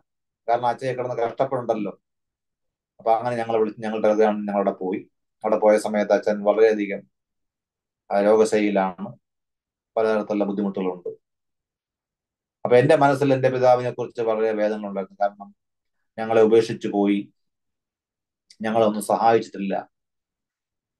ഞങ്ങളെ കരുതുമായിരുന്നില്ല. ഞങ്ങളെ ഒന്നും വിളിക്കില്ല ഇങ്ങനെയൊക്കെയുള്ള പല വിഷമങ്ങളും എനിക്ക് പക്ഷെ അച്ഛന്റെ ആ അവസാന സമയത്തൊക്കെ ആയപ്പോൾ ഞാൻ അച്ഛന് പൂർണമായിട്ടുള്ള ആ ക്ഷമ കൊടുത്തു. എന്റെ മനസ്സിനകത്തുള്ള എല്ലാ വിഷമങ്ങളും ഞാൻ എല്ലാം ദൈവത്തിന് വിട്ടുകൊടുത്തു. കർത്താവിനെ ഏൽപ്പിച്ചു. എന്റെ അച്ഛന്റെ അടുത്ത് പോയി ഞാൻ പറഞ്ഞു ഫാദർ എന്നെ അനുഗ്രഹിക്കണം. അങ്ങനെ ഞാൻ എന്റെ ഫാദറിന്റെ മുമ്പിൽ ഞാൻ മുട്ടുകുത്തി. അങ്ങനെ ഫാദർ എന്റെ തലയെ കരം വെച്ച് ഫാദർ എന്നെ അനുഗ്രഹിച്ചു. അതൊരു വലിയ അനുഭവമായിരുന്നു. അങ്ങനെ ഫാദറിന്റെ അനുഗ്രഹം വാങ്ങിച്ചതിന് ശേഷം ഞാൻ ഫാദറിനോട് യേശുക്രിസ്തുവിന്റെ സ്നേഹത്തെക്കുറിച്ച് സ്നേഹത്തെ കുറിച്ച് പറഞ്ഞു. എന്നിട്ട് ഞാൻ ചോദിച്ചു ഫാദറിനോട് ചോദിച്ചു ഈ യേശു കർത്താവിനെ അച്ഛന് രക്ഷിതാവായി കർത്താവായി സ്വീകരിക്കാൻ കഴിയുമോ? അദ്ദേഹം ആ അവസ്ഥയിൽ അതെനിക്ക് താല്പര്യമുണ്ടെന്ന് അറിയിച്ചു. അങ്ങനെ ആ ഒരു അവസാന നിമിഷങ്ങളിൽ കർത്താവിനെ സ്വീകരിക്കുന്ന പ്രാർത്ഥന ഏറ്റു പറഞ്ഞു കൊടുക്കുവാനും അങ്ങനെ എന്റെ ഫാദറിനെ കർത്താവിലേക്ക് നയിക്കുവാനും കർത്താവ് ഭാഗ്യം തന്നു. അതെന്റെ ജീവിതത്തിൽ വളരെ നല്ലൊരു ഓർമ്മയാണ്. അതിന്റെ ഫാദർ അവസാനം ക്രിസ്തുവിനെ സ്വീകരിച്ചതിന് ശേഷമാണ് ഫാദർ മരിക്കുന്നത്. അങ്ങനെ എന്റെ ഫാദർ രക്ഷിക്കപ്പെടുന്ന ഒരവസ്ഥയിൽ അദ്ദേഹം അവസാനം അദ്ദേഹം വന്നു. അതിനായി ദൈവത്തെ സ്തുതിക്കുന്നു. അങ്ങനെ ദൈവകൃപയാൽ കർത്താവിന്റെ വേലയുമായിട്ട് ബന്ധപ്പെട്ട് എന്റെ ഉള്ളിൽ ദൈവം പറയുകയാണ് നിനക്ക് എന്റെ ശുശ്രൂഷ ചെയ്യണം. ആത്മാക്കളെ നേടണം. എന്റെ വരവ് ആസന്നമായി. അപ്പൊ ഒരു ദിവസം ഞാൻ ഉറക്കത്തിൽ സ്വപ്നം കാണുകയാണ്. ഉറക്കത്തിൽ ഒരു ഒരു ദൈവത്തിന്റെ ഒരു ശബ്ദം കേൾക്കുകയാണ്. രണ്ട് തിമോത്തിയസ് വായിക്കണം? ഞാൻ രണ്ട് തിമോത്തിയസ് വായിച്ചപ്പോൾ അതിൽ പറയുന്നു നീ വചനം പ്രസംഗിക്കണം. സമയത്തിൽ ആ സമയത്ത് ഒരുങ്ങി നിൽക്കണം. അപ്പൊ എനിക്ക് വാസ്തവം പറഞ്ഞാൽ ഒരു അഞ്ചു പേരുടെ മുമ്പിൽ ഒന്നും സംസാരിക്കാനുള്ള ശക്തിയില്ല. കാരണം മുട്ടടിക്കും. ഞാൻ വരയ്ക്കാൻ പോകുന്നു. അത്രയ്ക്കുള്ള ഒരു വ്യക്തിയാണ് ഞാൻ അതിനോട് ദൈവം പറയുകയാണെങ്കിൽ നീ വചനം പ്രസംഗിക്കണം. അപ്പൊ ഞാൻ പറഞ്ഞ പാസ്റ്ററെ എനിക്കിങ്ങനെ ദൈവാത്മാവ് എങ്ങനെ എന്നോട് സംസാരിച്ചു വചനം പ്രസംഗിക്കാൻ പറയുകയാണ് പാസ്റ്റർ എന്നുള്ളത് അപ്പൊ പാസ്റ്റർ ഞങ്ങളുടെ ജോർജ് തോമസ് പാസ്റ്റർ പറഞ്ഞ "ആ, ദൈവം ഇടപെടുന്നതാണ് കർത്താവ് സംസാരിക്കുന്നത് കൃഷ്ണന്മാർ ഒരു കാര്യം ചെയ്യും. ഞായറാഴ്ച ഒരു പത്ത് മിനിറ്റ് പ്രസംഗിക്കണം. അപ്പൊ അങ്ങനെ ഞായറാഴ്ച സഭായോഗത്തിൽ അദ്ദേഹം എനിക്ക് അല്പം സമയം തരും. അപ്പൊ അങ്ങനെ ഞാൻ ആ സമയത്ത് വചനം പ്രസംഗിക്കും. അങ്ങനെ പ്രസംഗിച്ച് പ്രസംഗിച്ച് ആ, ആ ഒരു സഭാകമ്പം അങ്ങ് മാറി. അങ്ങനെ ദൈവത്തിന്റെ കൃപയാൽ പലയിടങ്ങളിലും എനിക്ക് പ്രസംഗിക്കാനായിട്ടുള്ള അവസരങ്ങൾ വന്നു. അങ്ങനെ ദൈവത്തിന്റെ ശുശ്രൂഷമായിട്ട് കൺവെൻഷൻ യോഗങ്ങൾ വിളിക്കാൻ തുടങ്ങി. അങ്ങനെ ദൈവകൃപയാൽ പല ദേശങ്ങളിലും പോയി പല പല രാജ്യങ്ങളിലും പോയി ശുശ്രൂഷിക്കാൻ തക്കവണ്ണം കർത്താവ് അവസരങ്ങൾ തുറന്നു. അങ്ങനെ തിരുവനന്തപുരത്ത് ഒരു പല വ്യക്തികളെയും ഇവിടെ സ്നാ സ്നാനപ്പെട്ട ദൈവഭാഗത്ത് കൊണ്ടുവന്നു. പക്ഷെ അവർ ആവശ്യപ്പെട്ട് പാർഷ ഞങ്ങൾ എവിടെ പോകാനാണ് ഞങ്ങൾക്ക് ഒരു സഭ വേണം. അപ്പൊ എനിക്ക് സഭയെക്കുറിച്ച് ഒരു ഒരു പ്ലാനിങ് എനിക്കില്ല. ആത്മാക്കളെ നേടുക സുശേഷം പ്രസംഗിക്കുക പ്രാർത്ഥിക്കുക അങ്ങനത്തെ ഒരു ശുശ്രൂഷയായിരുന്നു. പക്ഷേ ഈ രക്ഷിക്കപ്പെട്ട ആത്മാക്കളെല്ലാം കൂടെ പറഞ്ഞു ഭാഷ നമുക്ക് സഭ വേണം. ഞങ്ങൾ നമുക്ക് നമ്മുടേതായ ഒരു സഭ വേണമെന്ന് ആവശ്യപ്പെട്ടു. അങ്ങനെ ഞങ്ങൾ എന്റെ വീട്ടിൽ ആദ്യം ഒരു കൂട്ടായ്മ തുടങ്ങി സഭയായിട്ട് തുടങ്ങി. പിന്നീട് സഭയായിട്ട് അത് മാറുന്ന ഒരവസ്ഥയുണ്ടായി അങ്ങനെ ഒരു സഭ ഏകദേശം രണ്ടായിരത്തി ഒന്നിൽ സഭ സ്റ്റാർട്ട് ചെയ്തു. നൂറുകണക്കിന് ആളുകളെ നേടുവാനും അവരെ സ്നാനപ്പെടുത്തുവാനും അവരെ ദൈവരാജ്യത്തിന് വേണ്ടി ഒരുക്കിയെടുക്കുവാനും ഒക്കെ ഉള്ള ഭാഗ്യം കർത്താവ് തന്നു. ഇന്ത്യയിൽ തന്നെ ഏകദേശം പതിനാറോളം സ്റ്റേറ്റുകളിൽ പോയി ദൈവവചനം പ്രസംഗിക്കുവാനും പ്രാർത്ഥിക്കുവാനും കർത്താവ് കൃപ തന്നു.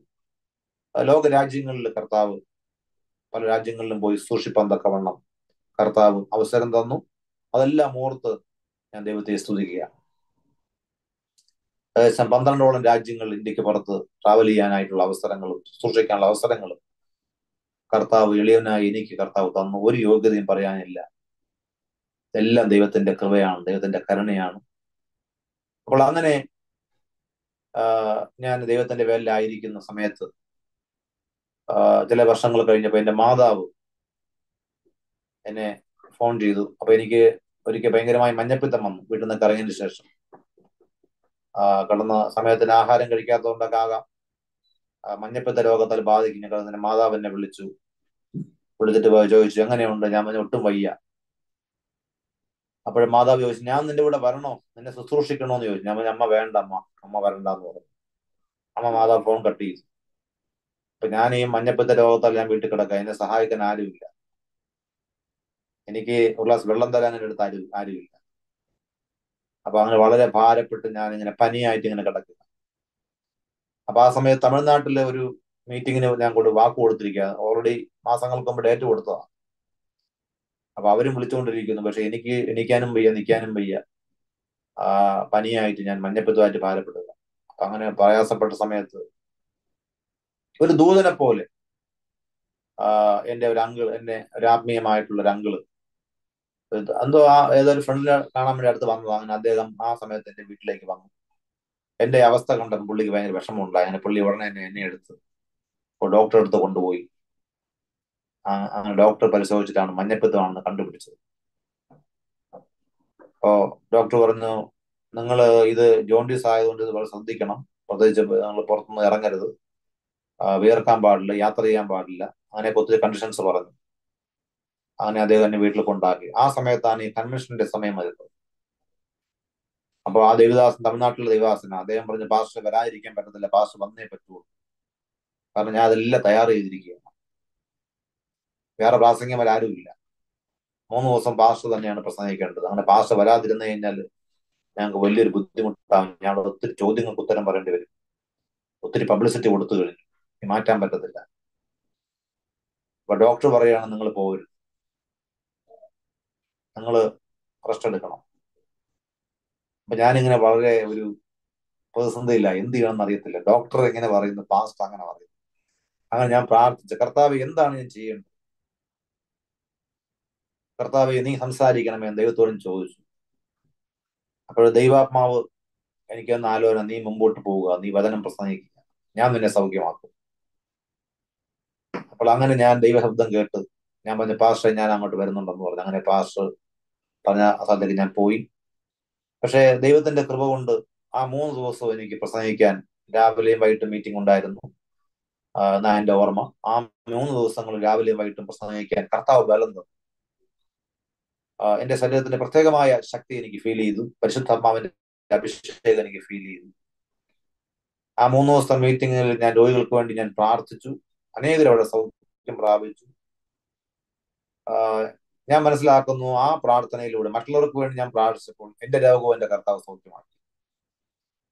എനിക്ക് അതിനുശേഷം പിന്നെ ക്ഷീണമോ പനിയോ ഒന്നും ഉണ്ടായിട്ടില്ല. ഇതുവരെയും പിന്നെ ആ ഒരു ജോണ്ടിസിന്റെ ഒരു പ്രശ്നം എനിക്ക് ഉണ്ടായിട്ടില്ല. അനേക വർഷങ്ങൾ കഴിഞ്ഞു. അപ്പൊ ഞാൻ പറയുന്നത് ഈ കർത്താവ് സൗഖ്യദായകനാണ്. ഈ കർത്താവ് അത്ഭുതങ്ങളുടെ ദൈവമാണ്. യേശുക്രിസ്തു ജീവിക്കുന്ന കർത്താവാണ്. അനേക അനുഭവങ്ങൾ എന്റെ ജീവിതത്തിൽ പറയാൻ കഴിയും. അങ്ങനെ എന്റെ എനിക്ക് മുപ്പത് വയസ്സായി. മുപ്പത് വയസ്സായ സമയത്ത് വിവാഹത്തിന്റെതായ പ്രപ്പോസൽസ് പലതും വന്നൊന്നും അങ്ങോട്ട് ശരിയാകുന്നില്ല. അപ്പൊ അങ്ങനെ എന്റെ ഒരു ദിവസം താമസിക്കുന്ന വീട്ടിൽ എന്റെ അമ്മ വന്ന് ബഹളം ഉണ്ടാക്കി. എന്റെ അമ്മ വന്ന് പറഞ്ഞു നീ ഇങ്ങനെ പെന്തക്കോസിൽ പോയിട്ട് നിനക്ക് മുപ്പത് വയസ്സായിട്ട് കല്യാണം ആയിട്ടില്ല. നിന്റെ അനിയന്റെ കല്യാണം കഴിഞ്ഞു. അവന് കുഞ്ഞുമായി. നിനക്ക് ഇതുവരെ ഒരു കല്യാണം ആയിട്ടില്ല. എന്തിനാ അങ്ങനെ പെന്തക്കോസിൽ പോയത്? എന്നൊക്കെ പറഞ്ഞ് വീട്ടിൽ വന്ന് ഭയങ്കരമായിട്ട് ഷൗട്ട് ചെയ്തു. അപ്പോ എനിക്ക് വാസ്തവം പറഞ്ഞാൽ കല്യാണം കഴിക്കാത്തതിനേക്കാളും ബുദ്ധിമുട്ട് ഈ അമ്മയുടെ ഷൗട്ടിങ് ആയിരുന്നു. കാരണം കല്യാണം കഴിച്ചില്ലേ കഴിച്ചില്ലെന്നേ ഉള്ളൂ. പക്ഷേ അതൊരു വലിയ ബുദ്ധിമുട്ടായിട്ടൊന്ന് വീട്ടിൽ വന്ന് അമ്മ ബോളം ഉണ്ടാക്കി ഭയങ്കരമായിട്ട് മാനസികമായി വിഷമിപ്പിച്ചു. ആ ദൈവമേ നീ എത്രയും പെട്ടെന്ന് പ്രവർത്തിക്കണം കർത്താവേ എന്ന് പറഞ്ഞ് ഞാൻ പ്രാർത്ഥിക്കാൻ തുടങ്ങി. പിന്നെ കല്യാണത്തിന് വേണ്ടിയുള്ള അന്വേഷിക്കാൻ തുടങ്ങി. അങ്ങനെ ഒരു പല ക്രിസ്തീയമായ മാസികകളിലും മനോരമ പേപ്പറിലൊക്കെ പരസ്യം. അപ്പോ അതിന്റെ പ്രത്യേകത ആൾക്കാർ ഫോൺ ചെയ്യുമ്പോൾ ചോദിക്കും ഹലോ ചെറുക്കൻ ആരാണ്? ഞാൻ പറഞ്ഞു ഞാനാണ് ചെറുക്കൻ. തമാശയാണ്. അപ്പൊ അവർ ചോദിക്കും പാസ്റ്റർ ആരാണ്? ഞാനാണ് പാസ്റ്റർ സ്തോത്രം. അപ്പൊ ചെറുക്കൻ ഞാൻ ചെറുക്കൻ ഞാൻ തന്നെയാണ് പാസ്റ്ററും ഞാൻ തന്നെയാണ്. പിന്നെ സഭയോ ആ സഭയും ഇവിടെ നമ്മൾ നമ്മൾ തുടങ്ങിയ സഭയാണ്. അപ്പൊ അങ്ങനെ വരുമ്പം എല്ലാം നമ്മൾ തന്നെ. അപ്പൊ ചിലർ പറയും അയ്യോ നിങ്ങൾ ഹിന്ദു എന്നൊക്കെ വന്നതല്ലേ? വീട്ടിൽ ആരുമില്ല വീട്ടിലാരുമില്ല. അയ്യോ ഞങ്ങൾക്ക് വേണ്ട.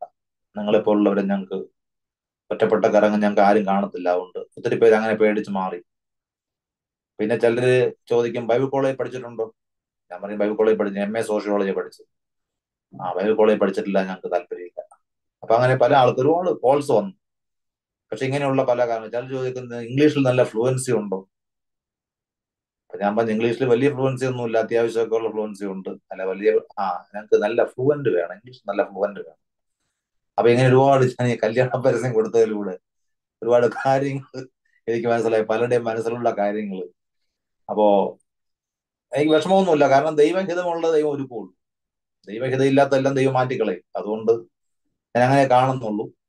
അപ്പൊ ഒരുപാട് കോൾസ് ഒക്കെ വന്നു. പക്ഷെ ദൈവത്തിന്റെ ആ ഒരു സമയമായ സമയത്ത് ഒരു ദേവദാസന്റെ വീട്ടിൽ വന്ന് അദ്ദേഹം പറഞ്ഞു കൊട്ടാരക്കരയിൽ ഒരു ദേവദാസന്റെ മകളുണ്ട്. അപ്പോ അങ്ങനെ ആലോചിക്കാന്ന് പറഞ്ഞു. അങ്ങനെ അദ്ദേഹമാണ് പ്രപ്പോസ് ചെയ്തത്. എന്റെ വൈഫ് റേച്ചലിനെ പ്രപ്പോസ് ചെയ്തു. അപ്പോ അവർ വന്നിട്ട് ഈ ജാക്കോബായ കുടുംബത്തിൽ നിന്നും കർത്താവിലേക്ക് വന്ന ഒരു ഫാമിലിയാണ് കൊല്ലത്ത് കൊട്ടാരക്കര. അപ്പൊ ഞങ്ങൾ ഞാൻ എന്റെ ബാക്ക്ഗ്രൗണ്ട് ബ്രാഹ്മിൻ ബാക്ക്ഗ്രൗണ്ട് ആണ്. അപ്പൊ എല്ലാ കാര്യങ്ങളും മനസ്സിലാക്കിയതിനു ശേഷം അവർ എന്നെ അങ്ങോട്ട് ക്ഷണിച്ചു. അപ്പൊ ഞാൻ മനസ്സിലാക്കും ദൈവത്തിന്റെ എന്തോ ഒരു പദ്ധതിയായിരുന്നു. അങ്ങനെ ഞാൻ പോയി എന്റെ വൈഫിനെ കാണുവാനും അങ്ങനെ എന്തോ ദൈവത്തിന്റെ ഒരു നടത്തിപ്പ് ഫീൽ ചെയ്ത് രണ്ടായിരത്തി ആറിൽ ഞങ്ങൾക്ക് ഞങ്ങൾ വിവാഹിതരാകുവാൻ രണ്ടായിരത്തി ആറിൽ ഏപ്രിൽ മാസത്തിൽ ഞങ്ങൾക്ക് വിവാഹിതരാകുവാൻ ദൈവം സഹായിച്ചു. അപ്പൊ അതിന്റെ ഏറ്റവും വലിയ അനുഗ്രഹം എന്ന് പറഞ്ഞാൽ എന്റെ വിവാഹത്തിൽ എന്റെ അനേക ബന്ധുക്കൾ ഞാൻ ക്ഷണിച്ചു. അപ്പോൾ ഞങ്ങളുടെ ബ്രാഹ്മൺ കമ്മിറ്റിയുടെ ഒത്തിരി ബന്ധുക്കളെ ഞാൻ കോട്ടയ്ക്കകത്ത് പോയി ഞങ്ങൾ ക്ഷണിച്ചു. അവരെ പലരും വന്ന് പങ്കെടുത്തു. അവസാനം ആ ദേവദാസൻ എന്ന ആത്മാവിൽ ശുശ്രൂഷിച്ച് അവസാനം പ്രത്യേകം നല്ലത് ഒരു കൺവെൻഷൻ പോലെ അദ്ദേഹം കൊണ്ടുപോയി.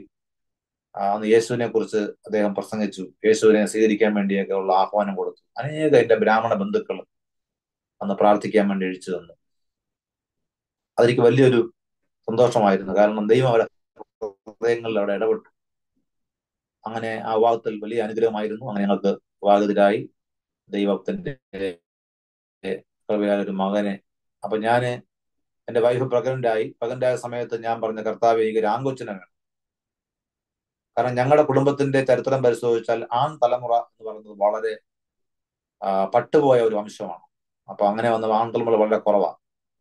നമ്മുടെ കർത്താവ് എനിക്ക് രാം തലമുറ വേണം. മാത്രമല്ല കർത്താവിന്റെ വേലയ്ക്ക് അനുഗ്രഹമായിട്ട് ആൺകൊച്ചിനെ വേണമെന്ന് പ്രാർത്ഥിച്ചു. എന്റെ വൈഫിന്റെ വൈറ്റൊക്കെ വെച്ച് ഞാൻ പ്രാർത്ഥിക്കുമായിരുന്നു.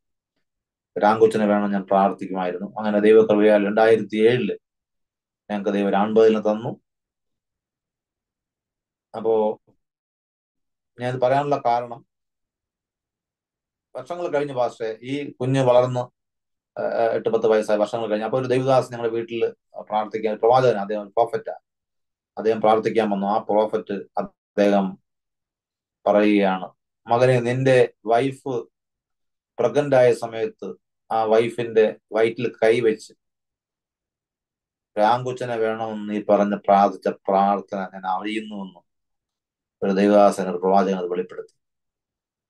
എനിക്ക് ഭയങ്കര അതിശയമായിരുന്നു.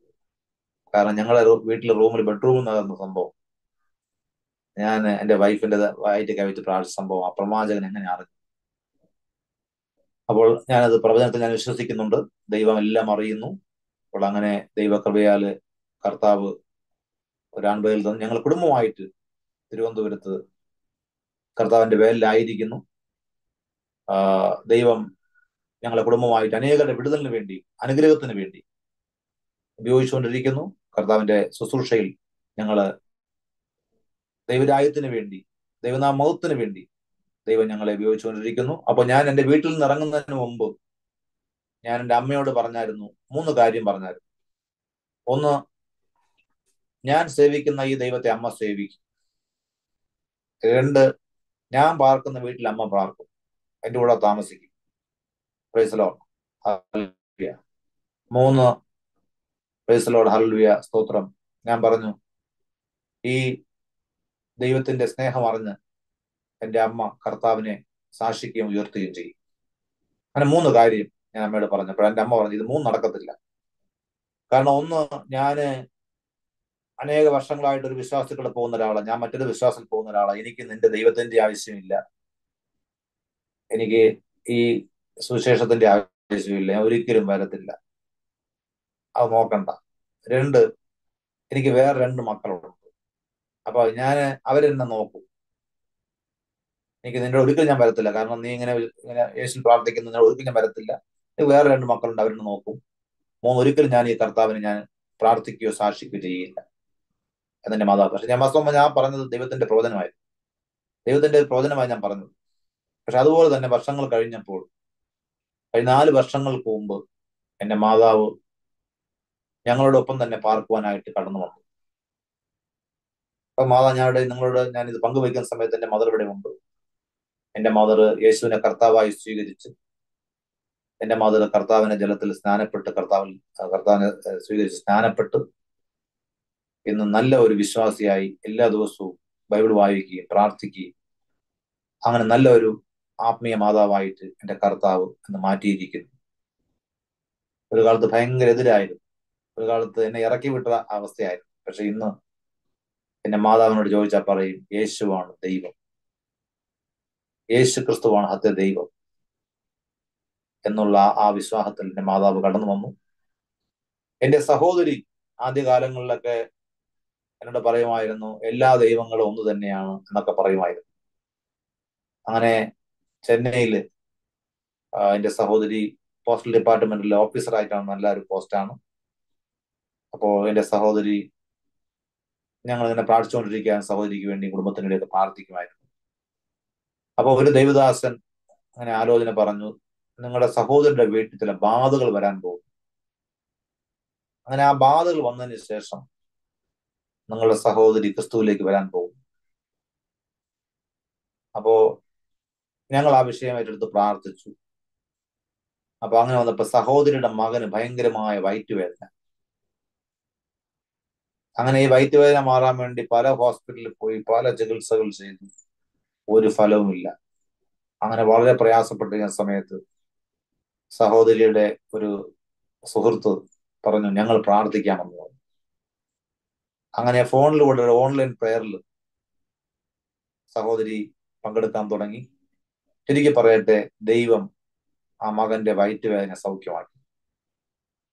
പ്രൈസ് ലോഡ് ഹാലേലുയ കർത്താവിന് മൗത്വം ഉണ്ടാകട്ടെ അപ്പോൾ അങ്ങനെ ഒരു അനുഭവം സഹോദരിക്ക് ഉണ്ടായി ഞാനിടയ്ക്ക് അളിയന്റെ ഗൾഫിൽ എന്റെ എന്റെ അളിയൻ ഗൾഫിലാണ്. അദ്ദേഹത്തിന് അബുദാബിയിലുള്ള ജോലി നഷ്ടപ്പെട്ടു. അപ്പോ അദ്ദേഹം അവിടെ വിളിച്ച ജോലി നഷ്ടപ്പെട്ടു. എനിക്ക് എന്ത് ചെയ്യണമെന്ന് അറിയത്തില്ല. വലിയ പ്രയാസത്തിലായി. അങ്ങനെ സഹോദരിയുടെ ഈ പ്രെയർ ലൈനിൽ വിഷയം പറഞ്ഞ് പ്രാർത്ഥിച്ചു. അങ്ങനെ നഷ്ടപ്പെട്ടു പോയ ജോലി ആ അവസ്ഥയിലായിരിക്കുന്ന സമയത്ത് പ്രാർത്ഥിച്ചു. അതേ കമ്പനിക്കാർ തിരിച്ചു വിളിച്ചു. ഏത് കമ്പനിയാണോ അളിയനെ പറഞ്ഞു വിട്ടത് അതേ കമ്പനിക്കാര് തിരിച്ചു വിളിച്ച് മാത്രമല്ല അവർ പ്രൊമോഷനും കൊടുക്കുകയാണ്.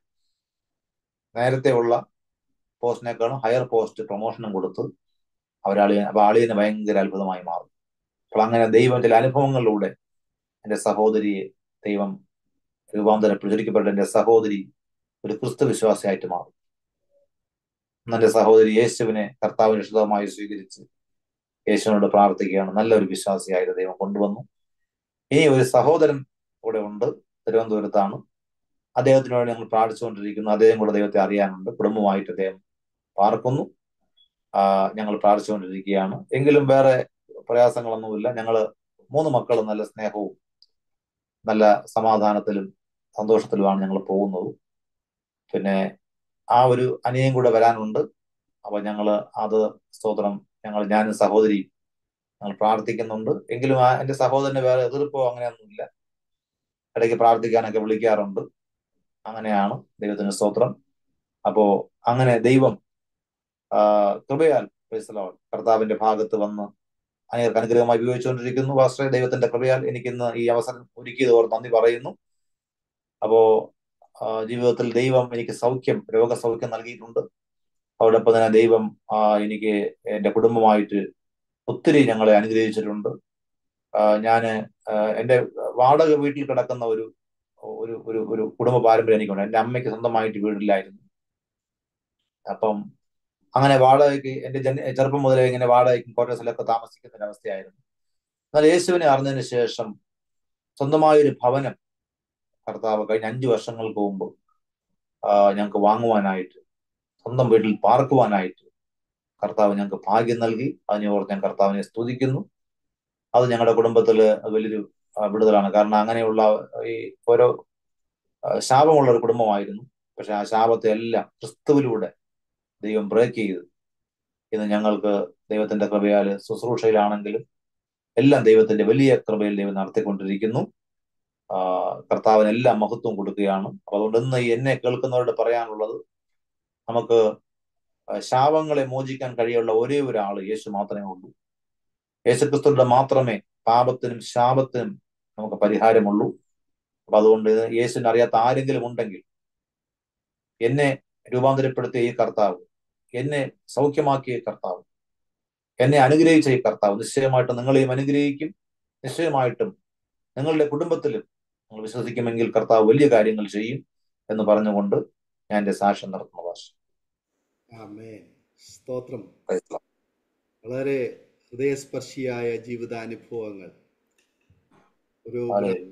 കുടുംബത്തിൽ ജനിച്ച് വളർത്തപ്പെട്ട ബാല്യം.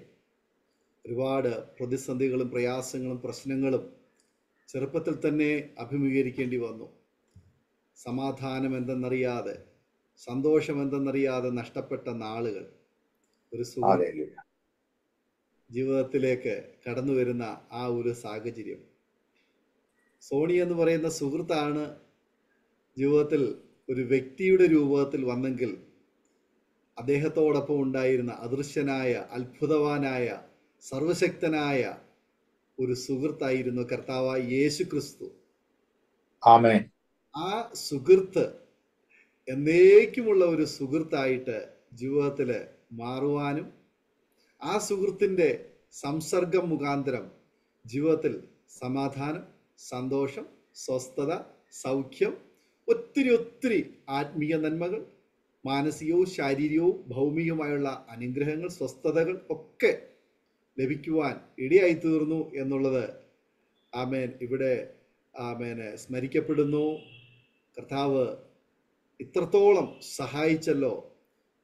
പുറകോട്ട് നോക്കുമ്പോൾ ഒത്തിരി ദുർഘടമായ വേദന നിറഞ്ഞതായ ഇരുളിന്റെ കരുനിഴലുകൾ അല്ലെങ്കിൽ പാതകൾ ഉണ്ടെങ്കിലും മുന്നോട്ട് നോക്കുമ്പോൾ വളരെ വലിയ ഒരു ശുഭപ്രതീക്ഷ വെളിച്ചം ആമേനെ മുന്നിൽ കാണുവാൻ കഴിയുന്നു.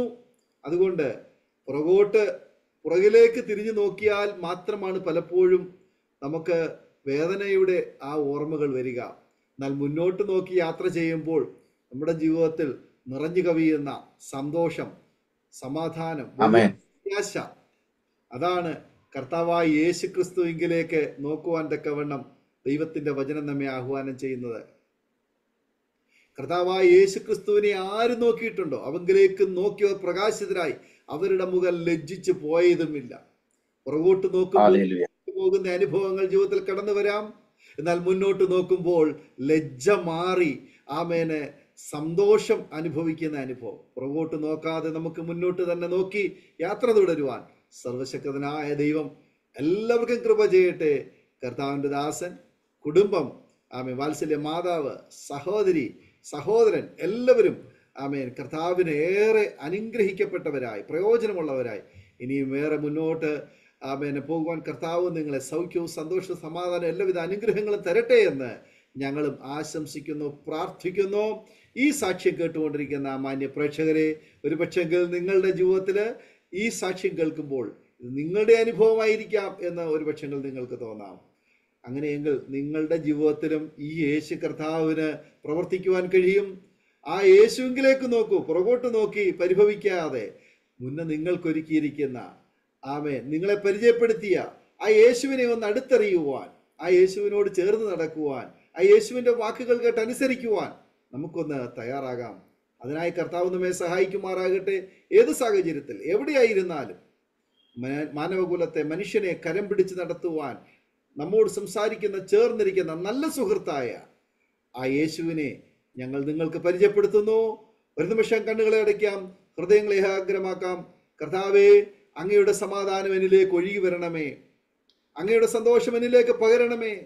ആ ദിവ്യ വെളിച്ചം എന്നിലേക്ക് പ്രകാശിക്കട്ടെ എന്ന് പ്രാർത്ഥിക്കുവാൻ നമുക്കൊരു നിമിഷം തലകളെ ഉണക്കാം നിങ്ങളുടെ കുടുംബത്തിലെ ഇരുനിഴൽ മാറട്ടെ. നിങ്ങളുടെ പ്രശ്നങ്ങൾ മാറട്ടെ. നിങ്ങളുടെ രോഗം രോഗം സൗഖ്യമാകട്ടെ. നിങ്ങളുടെ കടബാധ്യതകൾ മാറട്ടെ.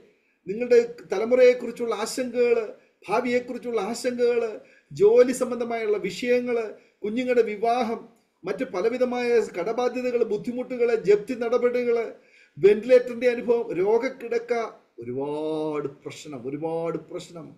കാൻസർ ബാധിച്ച് വിവിധ ട്രീറ്റ്മെന്റുകൾ കീമോതെറാപ്പികൾ റേഡിയേഷനുകൾ ഒക്കെ വേദനകളിലൂടെ കടന്നു പോകുന്ന പ്രിയപ്പെട്ടവർ യേശുവിനെ നിങ്ങളെ രക്ഷപ്പെടുത്തുവാൻ സൗഖ്യമാക്കുവാൻ ആശ്വസിപ്പിക്കുവാൻ നിങ്ങളെ തൊടുവാൻ ആമേൻ. ഈ അവസരം വിനിയോഗിക്കാം. ഒരു തുള്ളി കണ്ണുനീരൊഴുകി ആ ക്രൂശിലേക്കൊന്ന് നോക്കൂ. നിങ്ങൾക്ക് വേണ്ടി പകരുന്ന ആ ദിവ്യ സമാധാനം. ആ യേശു ക്രൂശിലൂടെ നമുക്ക് വേണ്ടി ആമേനെ പകർന്നു തരുന്ന ആ സന്തോഷം നമ്മിലേക്കൊന്ന് ഒഴുകിയിറങ്ങട്ടെ. നാം ഒരുമിച്ച് സ്തോത്രം ചെയ്ത് പ്രാർത്ഥിക്കുമ്പോൾ കർത്താവിന്റെ വിലപ്പെട്ട ദാസൻ അരോമാറ്റിയുടെ പ്രേക്ഷകർക്ക് വേണ്ടി ഒരു നിമിഷം പ്രാർത്ഥനയിൽ സഹായിക്കും.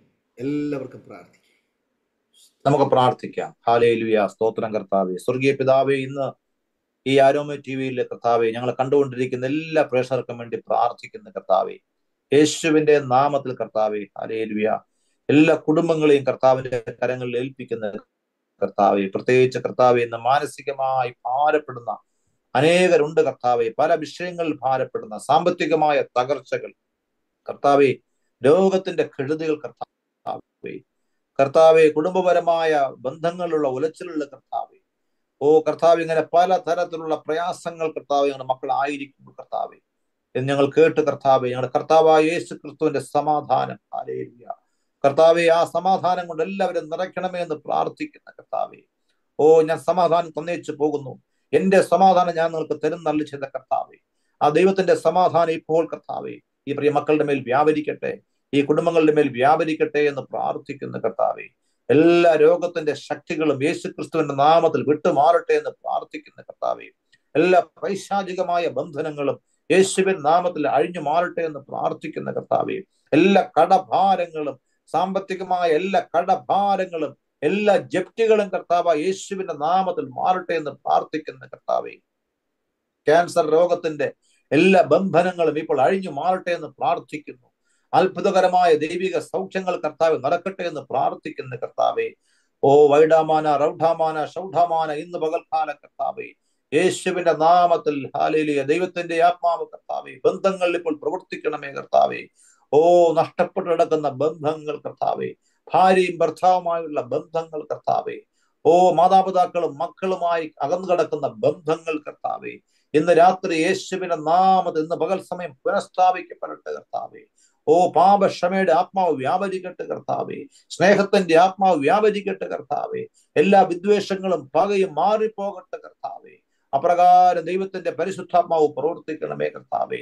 എന്റെ ജീവിതത്തിൽ കർത്താവേ ബന്ധങ്ങളെ പണിത എന്റെ ദൈവം ഹാലേലുവിയ കർത്താവെ ശാപങ്ങളെ മാറ്റി എന്റെ ദൈവം ക്രിസ്തുവിലൂടെ ഞങ്ങളെ അനുഗ്രഹിച്ച് ഞങ്ങളുടെ ദൈവം ഹാലേലുവിയ ഗലാത്തർ മൂന്നിന്റെ പതിനാല് ഞങ്ങൾ വായിക്കുന്ന കർത്താവേ അബ്രഹാമിന്റെ അനുഗ്രഹം ക്രിസ്തുവേശുവിൽ ജാതികൾക്ക് വരേണ്ടതിന് നാം ആത്മാവെന്ന വാഗ്ദത്ത വിഷയം വിശ്വാസത്താൽ പ്രാപിപ്പാൻ തന്നെ കർത്താവ് ഇന്ന് ആ അബ്രഹാമിന്റെ അനുഗ്രഹം കർത്താവ് യേശുവിലുള്ള അനുഗ്രഹം കർത്താവെ പരിശുദ്ധാത്മാവിലുള്ള അനുഗ്രഹം കർത്താവെ എല്ലാ ഭവനങ്ങളിലും വ്യാപരിക്കട്ടെ എന്ന് പ്രാർത്ഥിക്കുന്നു. അത് ഇന്ന് പരിശുദ്ധാത്മാവ് പറയുന്നു ശാപങ്ങളുടെ എല്ലാ കെടുതികളും മാറുവാനായിട്ട്.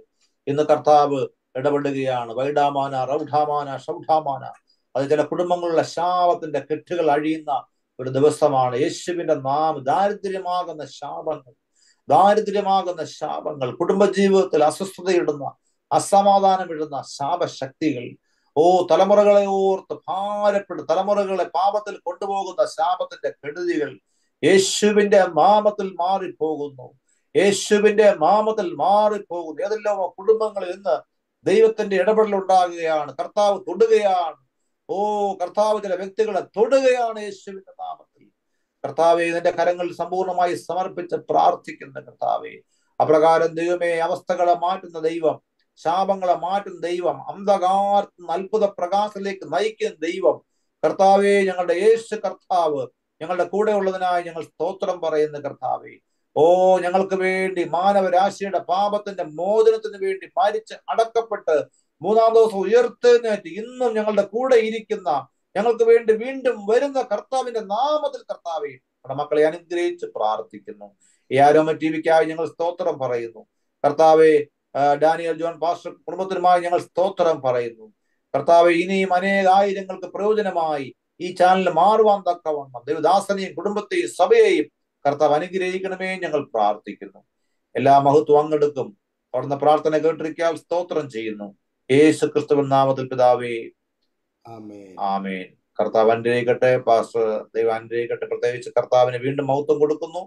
ഒരു അവസരം ഒരുക്കിയതിനും അതോടൊപ്പം തന്നെ ആരോമ ടി വിക്കും അതുപോലെ പാസ്റ്റർ ഡാനിയൽ ജോൺ പാസ്റ്റർ കുടുംബത്തിനും സഭയ്ക്കും എല്ലാം ദൈവനാമത്തിലുള്ള പ്രത്യേകമായ ഞങ്ങളുടെ സ്നേഹവും നന്ദിയും അറിയിക്കുന്നു. God bless amen. Thank you കർത്താവിന്റെ പാസ്റ്റർ കൃഷ്ണകുമാർ. ഇത്രത്തോളം സമയം അനുഗ്രഹിക്കപ്പെട്ട ജീവിതാനുഭവം സാക്ഷ്യവും ദൈവ നാമമഹത്വത്തിന് വേണ്ടി അരോമാറ്റിയുടെ പ്രേക്ഷകരോടൊപ്പം പങ്കുവയ്ക്കുവാൻ സമയം വേർതിരിച്ചതിനെ കർത്താവിന്റെ ദാസനോടും കുടുംബത്തോടും മിനിസ്റ്ററുള്ളതായ നന്ദിയെ ഈ തരുണത്തിൽ അറിയിക്കുന്നു. ദൈവമായ കർത്താവ് കർത്താവിന്റെ ദാസനെയും കുടുംബത്തെയും ധാരാളമായി അനുഗ്രഹിക്കുമാറാകട്ടെ. അതുപോലെ തന്നെ ഞങ്ങളെ കേട്ടുകൊണ്ടിരുന്ന മാന്യ പ്രേക്ഷകരുള്ളതായ നന്ദി സ്നേഹവും ഇത്തരണത്തിൽ ഞങ്ങൾ അറിയിക്കുന്നു. നിങ്ങൾക്ക് ഈ സാക്ഷ്യം അനുഗ്രഹമായി തീർന്നുവെങ്കിൽ തീർച്ചയായിട്ടും നിങ്ങളുടെ സുഹൃത്തുക്കൾക്കും പ്രിയപ്പെട്ടവർക്കും ഷെയർ ചെയ്ത് കൊടുക്കൂ. അവരും കേൾക്കട്ടെ അനുഗ്രഹിക്കപ്പെട്ട്. അതിലൂടെ ദൈവനാമം മഹിമപ്പെടുവാൻ ഇടയായി തീരുമല്ലോ നിങ്ങളുടെ വിലയേറിയ അഭിപ്രായങ്ങളും നിർദ്ദേശങ്ങളും കമന്റ് ബോക്സിൽ രേഖപ്പെടുത്താവുന്നതാണ്. അതുപോലെ തന്നെ നിങ്ങൾക്കൊരു പ്രാർത്ഥനാ വിഷയമുണ്ടെങ്കിൽ അതല്ല ഞങ്ങളുടെ പ്രാർത്ഥനാ കൂട്ടായ്മയുമായി ബന്ധപ്പെടുവാൻ ആഗ്രഹിക്കുന്നുവെങ്കിൽ സ്ക്രീനിൽ കാണുന്ന വാട്സപ്പ് നമ്പറിൽ ഞങ്ങളെ അറിയിക്കൂ. അടുത്ത അനുഗ്രഹിക്കപ്പെട്ടതായ ഒരു സാക്ഷ്യവുമായി വീണ്ടും കാണുമ്പോഴേയും എല്ലാ പ്രിയപ്പെട്ടവർക്കും goodbye. God bless you all. ഓർമ്മയുടെ മനോരഥത്തിൽ മായാത്ത ഓർമ്മയ്ക്കായി അരോമ മാട്രിമോണിയിൽ നിന്നും ജീവിത പങ്കാളിയെ കണ്ടെത്തും. നിങ്ങൾ ഒരു ക്രിസ്തീയ ജീവിത പങ്കാളിയെ അന്വേഷിക്കുകയാണോ? അതോ മക്കൾക്ക് അനുയോജ്യമായ ഒരു തക്ക തുണയ്ക്കു വേണ്ടി പ്രാർത്ഥിക്കുന്ന വ്യക്തിയാണോ? എങ്കിൽ അരോമ മാട്രിമോണി നിങ്ങൾക്ക് വേണ്ടിയാണ്. ഇന്നു തന്നെ സൗജന്യമായി രജിസ്റ്റർ ചെയ്യൂ. അരോമ മാട്രിമോണിയുടെ പ്രത്യേകതകൾ. രജിസ്ട്രേഷൻ തികച്ചും സൗജന്യം. ലോകത്തെവിടെയുമുള്ള അനുയോജ്യമായ ക്രിസ്തീയ ജീവിത പങ്കാളിയെ തിരഞ്ഞെടുക്കാം. വിവാഹം നടക്കുന്നതുവരെ സർവീസ് ലഭിക്കുന്നു. ഏറ്റവും ചെറിയ പാക്കേജുകളും തിരഞ്ഞെടുക്കാം. അരോമ മാട്രിമോണി നിങ്ങൾക്കായി ഒരുക്കുന്നു. വിവാഹം പരമാനന്ദം email Aroma matrimony twenty twenty at Gmail dot com